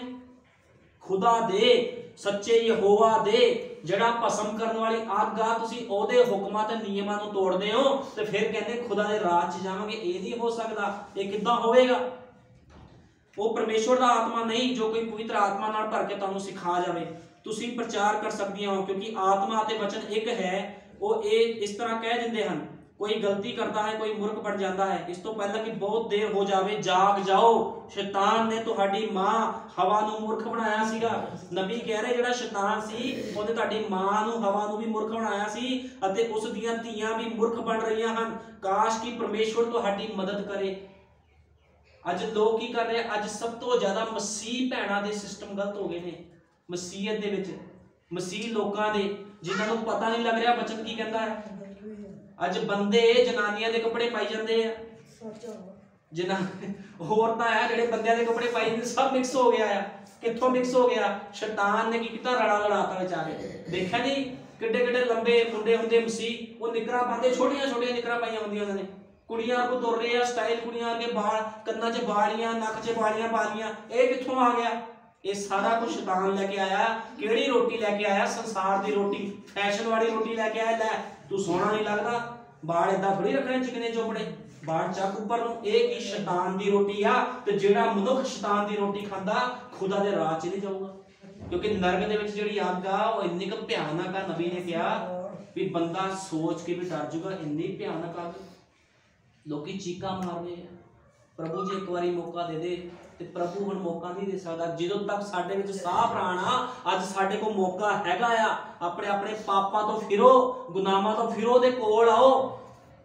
ਨਾਮ ਰੱਖਣ ਨਾਲ ਕੁਝ ਨਹੀਂ ਹੁੰਦਾ। ਅੱਜ ਲੋਕਾਂ ਨੇ ਨਾਮ ਰੱਖੇ ਆ। ਮਸੀਹ ਲੋਕਾਂ ਦੇ ਭੈਣਾਂ ਦੇ ਨਾਮ ਆ। ਕਿਸ ਦਾ ਨਾਮ ਕੋਚਾ ਕਿਸ ਦਾ ਕੋਚਾ ਕਿਸ ਨੇ ਆਪਣਾ ਨਾਮ ਪਤਰਸ ਰੱਖ ਲਿਆ ਕਿਸ ਨੇ ਯਹੋਨਾ ਰੱਖ ਲਿਆ। ਤੇ ਜੀਵਨ ਦੇਖ ਲਓ ਉਹਨਾਂ ਦੇ ਕਿੱਥੇ ਆ। ਕੋਈ ਸ਼ਰਾਬ ਦੇ ਠੇਕੇ ਤੇ ਬੈਠਾ ਕੋਈ ਕੁੜੀਆਂ ਛੇੜਦਾ ਆ। ਜਿਸ ਭੈਣ ਨੇ ਆਪਣਾ ਨਾਮ ਰੂਥ ਰੱਖਿਆ ਉਹ ਫਿਲਮਾਂ ਦੇ ਗਾਣੇ ਸੁਣ ਰਹੀ ਆ। ਜਿਹਨੇ ਆਪਣਾ ਨਾਮ ਨਿਓਮੀ ਰੱਖਿਆ ਆ, ਉਹ ਚਾਰ ਚਾਰ ਮੁੰਡੇ ਲੈ ਕੇ ਘੁੰਮ ਰਹੀ। ਇਹ ਕਿੱਦਾਂ ਦੇ ਜੀਵਨ ਆ? ਇਹ ਮਸੀਹ ਜੀਵਨ ਨਹੀਂ ਆ, ਇਹ ਸ਼ੈਤਾਨ ਦਾ ਜੀਵਨ ਆ ਦੁਸ਼ਟਾਤਮਾ ਗ੍ਰਸਤ ਜੀਵਨ ਆ, ਜਿਹਦੇ ਵਸੀਲੇ ਕੀ ਮਿਲਣਾ? ਮੌਤ ਮਿਲਣੀ ਆ। ਕੋਈ ਇਹ ਨਾ ਸੋਚੇ ਵੀ ਜੀਵਨ ਮਿਲਣਾ, ਜੀਵਨ ਨਹੀਂ ਮਿਲਣਾ। ਖੁਦਾ ਦੀ ਰੋਟੀ ਖਾਓ, ਸੰਸਾਰ ਦੀ ਰੋਟੀ ਨਾ ਖਾਓ। ਸੰਸਾਰ ਦੀ ਰੋਟੀ ਸਾਨੂੰ ਮੌਤ ਵੱਲ ਲੈ ਕੇ ਜਾਂਦੀ ਹੈ ਕਿਉਂਕਿ ਸੰਸਾਰ ਦੇ ਵਿੱਚ ਹੈ ਕੀ ਆ? ਸੰਸਾਰ ਦੇ ਵਿੱਚ ਮੌਤ ਆ, ਲੇਕਿਨ ਜੀਵਨ ਕਿਹਦੇ ਵਿੱਚ ਆ? ਇਸ ਯਿਸੂ ਮਸੀਹ ਨੇ ਕਿਹਾ ਸੀ, ਜੀਵਨ ਦੀ ਰੋਟੀ ਮੈਂ ਕਿਉਂ ਉਹਨੇ ਕਿਹਾ ਆ? ਉਹਦੇ ਕਹਿਣ ਦਾ ਤੁਕ ਕੀ ਸੀਗਾ? ਉਹਨੇ ਕਿਉਂ ਇਹ ਗੱਲ ਵਚਨ 'ਚ ਰੱਖੀ ਵੀ ਜੀਵਨ ਦੀ ਰੋਟੀ ਮੈਂ ਇਸ ਕਰਕੇ ਰੱਖੀ ਕਿਉਂਕਿ ਉਹਦੇ ਵਚਨ ਦੇ ਵਿੱਚ ਜੀਵਨ ਆ। ਅੱਜ ਲੋਕ ਹੱਸਦੇ ਆ। ਜਦੋਂ ਕੋਈ ਮਸੀਹ ਬੰਦਾ ਪ੍ਰਾਰਥਨਾ ਕਰਦਾ, ਕਈ ਇਹੋ ਜਿਹੇ ਮਸੀਹ ਲੋਕ ਹੱਸਦੇ ਕਿਉਂਕਿ ਪ੍ਰਾਰਥਨਾ ਨਹੀਂ ਕਰਦੇ, ਉਹਨਾਂ ਨੂੰ ਪਤਾ ਨਹੀਂ ਵਚਨ ਤੇ ਚੱਲਣਾ ਕੀ ਆ। ਉਹ ਕਹਿੰਦੇ, ਲੈ ਸਾਨੂੰ ਤਾਂ ਸਾਡਾ ਪਾਸਟਰ ਨੇ ਮਨਾ ਨਹੀਂ ਕੀਤਾ ਵਾਲ ਕਟਾਉਣ ਨੂੰ ਸਾਨੂੰ ਤਾਂ ਲਿਪਸਟਿਕ ਲਗਾਉਣ ਨੂੰ ਮਨਾ ਨਹੀਂ ਕੀਤਾ, ਤੁਹਾਡਾ ਪਾਸਟਰ ਕਿਉਂ ਮਨਾ ਕਰਦਾ? ਫਿਰ ਕੀ ਆ, ਉਹ ਮਨੁੱਖ ਤੁਹਾਨੂੰ ਸਰੀਰਕ ਰੋਟੀ ਖਵਾ ਰਿਹਾ, ਖਾਓ। ਲੇਕਿਨ ਜਦੋਂ ਤੁਸੀਂ ਆਤਮਿਕ ਬੰਦੇ ਕੋ ਜਾਓਗੇ, ਕਿਸੇ ਮਰੇ ਹੋਏ ਕੋ ਜਾਓਗੇ, ਤੇ ਮਰੇ ਹੋਏ ਬੰਦੇ ਕੋ ਤੁਹਾਨੂੰ ਸਮੈਲ ਆਣੀ ਆ। ਕਾਦੀ ਸਮੈਲ ਆਣੀ ਹੈ ਵਚਨ ਦੀ। ਜੇ ਖੁਦਾ ਨੇ ਮੈਨੂੰ ਤੇ ਖੜਾਇਆ ਆ, ਤੇ ਜਿਉਂਦਾ ਰੱਖ ਕੇ ਨਹੀਂ ਖੜਾਇਆ, ਖੁਦਾ ਨੇ ਮੈਨੂੰ ਸੰਸਾਰ ਤੋਂ ਮਾਰਿਆ। ਜਦੋਂ ਪਵਿੱਤਰ ਆਤਮਾ ਨੇ ਮੈਨੂੰ ਦਰਸ਼ਨ ਦਿੱਤਾ ਸੀ ਤੇ ਦੂਤ ਨੇ, ਤੇ ਸਭ ਤੋਂ ਪਹਿਲਾਂ ਸੰਸਾਰਿਕ ਚੀਜ਼ਾਂ, ਸੰਸਾਰਿਕ ਕਾਮਨਾਵਾਂ ਮੇਰੇ ਅੰਦਰੋਂ ਬਾਹਰ ਕੱਢਤੀਆਂ, ਇਹਨਾਂ ਅੱਖਾਂ ਨੂੰ ਸਾਫ਼ ਕਰਤਾ। ਇਹਨਾਂ ਇਹ ਅੱਖਾਂ ਕਿਸ ਨੂੰ ਬੁਰੀ ਨਜ਼ਰ ਨਾਲ ਨਹੀਂ ਵੇਖਦੀਆਂ ਇਹ ਅੱਖਾਂ ਦੇ ਦੁਆਰਾ ਹਰ ਕੋਈ ਮੈਨੂੰ ਮੇਰੀ ਬੇਟੀ ਦਿਖਦੀ ਆ ਮੇਰੇ ਧੀਆਂ ਪੁੱਤਰ ਦਿਖਦੇ ਆ ਕਿਉਂਕਿ ਖੁਦਾ ਦਾ ਵਚਨ ਮੇਰੇ ਅੰਦਰ ਆ। ਤੇ ਅੱਜ ਸਾਨੂੰ ਚਾਹੀਦਾ ਆ ਖੁਦਾ ਦੇ ਵਚਨ ਦੇ ਅਨੁਸਾਰ ਜੀਵਨ ਬਤੀਤ ਕਰੋ ਉਹਦੇ ਧੀਆਂ ਪੁੱਤਰ ਬਣੋ ਸੰਸਾਰ ਦੀ ਰੋਟੀ ਨੂੰ ਛੱਡ ਦਿਓ ਫੈਸ਼ਨਾਂ ਵਾਲੀ ਰੋਟੀ ਨੂੰ ਛੱਡ ਦਿਓ ਬਾਲ ਕਟਾਉਣ ਵਾਲੀ ਰੋਟੀ ਨੂੰ ਛੱਡ ਦਿਓ ਝੂਠ ਬੋਲਣ ਵਾਲੀ ਰੋਟੀ ਨੂੰ ਛੱਡੋ ਖੁਦਾ ਦੇ ਵਚਨ ਦੇ ਨਾਲ ਜੁੜੋ ਆ ਕੇ। ਮੈਂ ਕਦੇ ਵੀ ਆਪਣੇ ਨਾਲ ਨਹੀਂ ਜੋੜਿਆ। ਭਾਈ ਬ੍ਰਹਨਮ ਨੇ, ਸਤਵੇਂ ਦੂਤ ਨੇ ਕਿਸੇ ਮਨੁੱਖ ਨੂੰ ਆਪਣੇ ਨਾਲ ਨਹੀਂ ਜੋੜਿਆ, ਉਹਨੇ ਕਿਹਦੇ ਨਾਲ ਜੋੜਿਆ? ਉਹਨੇ ਹਮੇਸ਼ਾ ਹੀ ਜਿਉਂਦੇ ਵਚਨ ਦੇ ਨਾਲ ਜੋੜਿਆ। ਉਹ ਕਹਿੰਦਾ, ਵਚਨ ਪੜੋ ਵਚਨ ਪੜੋ ਵਚਨ ਕੀ ਕਹਿੰਦਾ ਆ? ਸਿੱਖਿਆ ਕੀ ਕਹਿੰਦੀ ਸਾਨੂੰ ਬਾਈਬਲ ਦੀ? ਤੁਹਾਨੂੰ ਪਤਾ? ਭਾਈ ਨਬੀ ਨੇ ਸਭ ਤੋਂ ਜ਼ਿਆਦਾ ਪ੍ਰਚਾਰ ਔਰਤਾਂ ਤੇ ਕੀਤਾ ਹੈ, ਸੰਦੇਸ਼ਾਂ ਦੇ ਵਿੱਚ। ਕਿਉਂਕਿ ਔਰਤਾਂ ਦੇ ਜੀਵਨ ਸਭ ਤੋਂ ਜ਼ਿਆਦਾ ਗਲਤ ਹੈ ਅੱਜ ਔਰਤਾਂ ਕਹਿੰਦੀਆਂ, ਮਸੀਹ ਔਰਤਾਂ ਕਹਿੰਦੀ ਕਹਿੰਦੀਆਂ, ਸਾਡੇ ਅੰਦਰ ਪਵਿੱਤਰ ਆਤਮਾ ਹੈ। ਬੜਾ ਵਧੀਆ ਪਵਿੱਤਰ ਆਤਮਾ ਆ। ਪਵਿੱਤਰ ਆਤਮਾ ਤੁਹਾਡੇ ਤੋਂ ਹਰਾਮ ਕਰੀ ਕਰਾਈ ਜਾਂਦਾ। ਗਲਤ ਇਹ ਕਿਹੜਾ ਇਹ ਪਵਿੱਤਰ ਆਤਮਾ ਨਹੀਂ। ਪਵਿੱਤਰ ਆਤਮਾ ਕੀ ਕਰਦਾ? ਸਫ਼ਾਈ ਕਰਦਾ ਹੈ। ਮੈਂ ਤੁਹਾਨੂੰ ਪਹਿਲੇ ਵੀ ਇੱਕ ਵਾਰ ਦੱਸਿਆ ਸੀ, ਪਵਿੱਤਰ ਆਤਮਾ ਦੀ ਨਿਸ਼ਾਨੀ ਕੀ? ਜਿਹੜੇ ਅੰਦਰ ਪਵਿੱਤਰ ਆਤਮਾ ਆ, ਇੱਕ ਬੰਦਾ ਕਹਿੰਦਾ ਵੀ ਮੇਰੇ ਅੰਦਰ ਆਤਮਾ ਕੰਮ ਕਰਦਾ। ਉਹ ਕੀ ਹੁੰਦਾ? ਉਹ ਆਤਮਾ ਨੂੰ ਛੂੰਦਾ ਆ। ਉਹ ਕਦੇ ਜੀਵਨ ਸਹੀ ਹੋ ਗਿਆ, ਕਦੇ ਗਲਤ ਹੋ ਗਿਆ। ਉਹ ਆਤਮਾ ਦਾ ਛੂਣਾ ਆ। ਲੇਕਿਨ ਜਿਹਦੇ ਅੰਦਰ ਪਵਿੱਤਰ ਆਤਮਾ ਪੂਰੀ ਤਰ੍ਹਾਂ ਆ ਜਾਏ, ਉਹ ਪੂਰੀ ਤਰ੍ਹਾਂ ਸੰਸਾਰ ਤੋਂ ਭਰਿਆ ਹੋਇਆ ਹੁੰਦਾ। ਇਹ ਨਿਸ਼ਾਨੀ ਹੁੰਦੀ ਤਾਂ ਤੁਹਾਨੂੰ ਪਵਿੱਤਰ ਆਤਮਾ ਪਾਏ ਹੋਏ ਬੰਦੇ ਬਹੁਤ ਘੱਟ ਮਿਲਦੇ ਬਹੁਤ ਘੱਟ ਹੁੰਦੇ ਜਿਹਦੇ ਅੰਦਰ ਖੁਦਾ ਦਾ ਆਤਮਾ ਕੰਮ ਕਰਦਾ। ਨਹੀਂ ਤਾਂ ਬੰਦਾ ਕਹਿੰਦਾ ਕੋਈ ਗੱਲ ਨਹੀਂ ਸਾਨੂੰ ਕਿਹੜਾ ਪਾਸਟਰ ਦੇਖ ਰਿਹਾ ਸੀ ਗਲਤ ਕੰਮ ਕਰ ਸਕਦੇ ਆ ਲੇਕਿਨ ਖੁਦਾ ਤਾਂ ਦੇਖਦਾ ਹੈ, ਪਾਸਟਰ ਨਹੀਂ ਦੇਖ ਰਿਹਾ। ਪਾਸਟਰ ਨੇ ਥੋੜੀ ਤੁਹਾਨੂੰ ਰੈਪਚਰ 'ਚ ਲੈ ਕੇ ਜਾਣਾ। ਤੁਹਾਡੇ ਜੀਵਨ ਨੇ ਤੁਹਾਨੂੰ ਰੈਪਚਰ 'ਚ ਲੈ ਕੇ ਜਾਣਾ ਤੇ ਸਾਨੂੰ ਚਾਹੀਦਾ ਆ, ਨਬੀ ਦੇ ਸੰਦੇਸ਼ ਦੇ ਅਨੁਸਾਰ ਜੀਵਨ ਬਤੀਤ ਕਰੋ, ਜੋ ਸਾਡੇ ਸਤਵੇਂ ਦੂਤ ਨੇ ਕਿਹਾ। ਤੁਹਾਨੂੰ ਪਤਾ ਨਬੀ ਦਾ ਮੈਂ ਸੰਦੇਸ਼ ਪੜ੍ਹ ਰਿਹਾ ਸੀਗਾ, ਉਹਦੇ ਵਿੱਚ ਨਬੀ ਨੇ ਕਿਹਾ, ਕਹਿੰਦਾ ਜਦੋਂ ਛੋਟਾ ਸੀਗਾ, ਬੱਚਾ ਸੀਗਾ ਤੇ ਆਪਣੇ ਭਰਾ ਦੇ ਨਾਲ ਉਹ ਝੁੱਗੀ 'ਚ ਸੁੱਤਾ ਸੀਗਾ ਤੇ ਝੁੱਗੀ ਦੇ ਵਿੱਚ ਕੀ ਝੋਪੜੀ ਵਿੱਚ ਚੀਤਾਂ ਸੀਗੀਆਂ ਦਰਾੜ ਸੀ ਤੇ ਉਸ ਸਮੇਂ ਬਾਹਰ ਬਹੁਤ ਠੰਡ ਪੈ ਰਹੀ ਸੀ। ਪਹਾੜੀ ਦੇ ਉੱਪਰ ਉਹਦਾ ਘਰ ਸੀ, ਕੀ ਹੋਇਆ? ਉਸ ਆ ਕੇ, ਬਰਫ਼ ਆ ਕੇ ਉਹਦੀ ਅੱਖਾਂ ਤੇ ਜੰਮ ਗਈ। ਜਦੋਂ ਜੰਮ ਗਈ ਤੇ ਅੱਖਾਂ ਉਹਨਾਂ ਦੀ ਬੰਦ ਹੋ ਗਈਆਂ ਤਾਂ ਉਹਨਾਂ ਨੇ ਆਪਣੀ ਮਾਂ ਨੂੰ ਪੁਕਾਰਿਆ, ਕਹਿੰਦੇ, ਮਾਂ, ਸਾਡੀ ਅੱਖਾਂ ਠੰਡੀਆਂ ਹੋ ਰਹੀਆਂ ਉਹਦੀ ਮਾਂ ਗਰਮ ਸਾਬਣ ਲੈ ਕੇ ਆਈ ਤੇ ਪਾਣੀ ਦੇ ਨਾਲ ਧੋਣ ਲੱਗੀ। ਏਦਾਂ ਜੀਵਨ ਬਤੀਤ ਕੀਤਾ ਸਾਡੇ ਨਬੀ ਨੇ। ਖੁਦਾ ਦੇ ਨਬੀ ਨੇ ਇਦਾਂ ਜੀਵਨ ਬਤੀਤ ਕੀਤਾ। ਦੁੱਖਾਂ ਵਿੱਚ ਪੈ, ਪੈਰਾਂ ਵਿੱਚ ਪਾਉਣ ਨੂੰ ਚੱਪਲਾਂ ਨਹੀਂ ਹੁੰਦੀਆਂ ਸੀ ਇਹਦੇ ਕੋਲ। ਕੱਪੜੇ ਨਹੀਂ ਹੁੰਦੇ ਸੀਗੇ, ਤਾਂ ਵੀ ਉਹ ਖੁਦਾ ਦੀ ਮਹਿਮਾ ਕਰਦਾ ਸੀਗਾ। ਤੁਹਾਨੂੰ ਪਤਾ ਇਹੋ ਜਿਹੇ ਲੋਕ ਹੁੰਦੇ ਖੁਦਾ ਦੇ। ਯੂਸਫ ਨੂੰ ਇੰਨੀ ਮਾਰ ਮਾਰੀ ਇੰਨਾ ਕੁੱਟਿਆ ਉਹਦੇ ਵਿਚਾਰੀ ਦਾ ਇਲਜ਼ਾਮ ਲਗਾਤਾ ਉਹਨੇ ਕੁਝ ਨਹੀਂ ਕਿਹਾ। ਉਹ ਤਾਂ ਵੀ ਮਹਿਮਾ ਕਰਦਾ ਸੀ ਖੁਦਾ ਦੀ। ਤੇ ਖੁਦਾ ਪ੍ਰਤੀਫਲ ਵੀ ਦਿੰਦਾ ਆ। ਅੱਜ ਲੋਕ ਸੋਚਦੇ ਵੀ ਸਾਡੇ ਇਦਾਂ ਹੋ ਗਿਆ ਸਾਡੇ ਉਦਾਂ ਹੋ ਗਿਆ। ਉਸ ਚਰਚ ਦਾ ਬੜੀ ਬਰਕਤ ਆ। ਚਰਚ 'ਚ ਬਰਕਤ ਨਹੀਂ ਹੁੰਦੀ ਕਦੇ ਵੀ।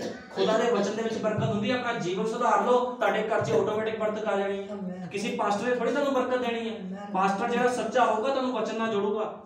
ਜਿਹੜਾ ਜਾਲੀ ਹੋਊਗਾ ਜਿਹੜਾ ਸ਼ੈਤਾਨ ਵੱਲੋਂ ਖੜਾ ਆ ਉਹਨੇ ਕਹਣਾ ਕੋਈ ਗੱਲ ਨਹੀਂ।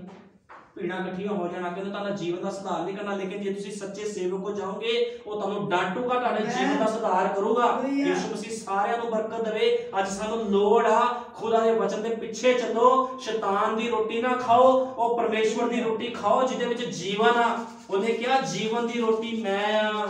ਮੇਰੇ ਵਸੀਲੇ ਬਿਨਾ ਕੋਈ ਵੀ ਪਿਤਾ ਦੇ ਰਾਜ ਵਿੱਚ ਦਾਖਲ ਨਹੀਂ ਹੋ ਸਕਦਾ। ਜੇ ਅਸੀਂ ਪਿਤਾ ਦੇ ਰਾਜ ਵਿੱਚ ਜਾਣਾ ਆ, ਤੇ ਵਚਨ ਦੀ ਰੋਟੀ ਖਾਓ। ਦੇਖੋ, ਬਾਈਬਲ ਸਾਨੂੰ ਕੀ ਬਿਆਨ ਕਰਦੀ ਆ? ਮੁੜੋ ਉਸ ਪੈਂਤੇਕੋਸ ਦੇ ਦਿਨ ਵੱਲ। ਵੀ ਪਤਰਸ ਉਹਨਾਂ ਨੂੰ ਕੀ ਕਿਹਾ ਸੀਗਾ? ਉਹਨਾਂ ਨੇ ਸਾਨੂੰ ਕੀ ਸਿੱਖਿਆ ਦਿੱਤੀ ਆ? ਉਹਦੇ ਅਨੁਸਾਰ ਜੀਵਨ ਬਤੀਤ ਕਰੋ। ਜੇ ਖੁਦਾ ਦੀ ਰੋਟੀ ਖਾਵਾਂਗੇ, ਤੇ ਤਾਂ ਹੀ ਅਨੰਤ ਜੀਵਨ ਪਾਵਾਂਗੇ। ਨਹੀਂ ਤਾਂ ਮੌਤ ਦਾ ਇੰਤਜ਼ਾਰ ਕਰ ਹੀ ਰਹੀ ਹੈ ਸਾਰਿਆਂ ਦਾ। ਲੇਕਿਨ ਜੇ ਅਸੀਂ ਚਾਹੁੰਦੇ ਆ ਜੀਵਨ ਵਿੱਚ ਪ੍ਰਵੇਸ਼ ਕਰਨਾ, ਤੇ ਪ੍ਰਭੂ ਯੀਸ਼ੂ ਮਸੀਹ ਨੂੰ ਖਾਓ। 70 ਚੇਲਿਆਂ ਵਰਗੂ ਨਾ ਬਣੋ, ਉਹਨਾਂ 12 ਵਰਗਿਆਂ ਬਣੋ ਜਿਹੜੇ ਕਹਿੰਦੇ ਸੀ ਪ੍ਰਭੂ ਜੀ, ਅਸੀਂ ਕਿੱਥੇ ਜਾਈਏ? ਜੀਵਨ ਦੀ ਗੱਲਾਂ ਤੇਰੇ ਕੋਲ ਆ।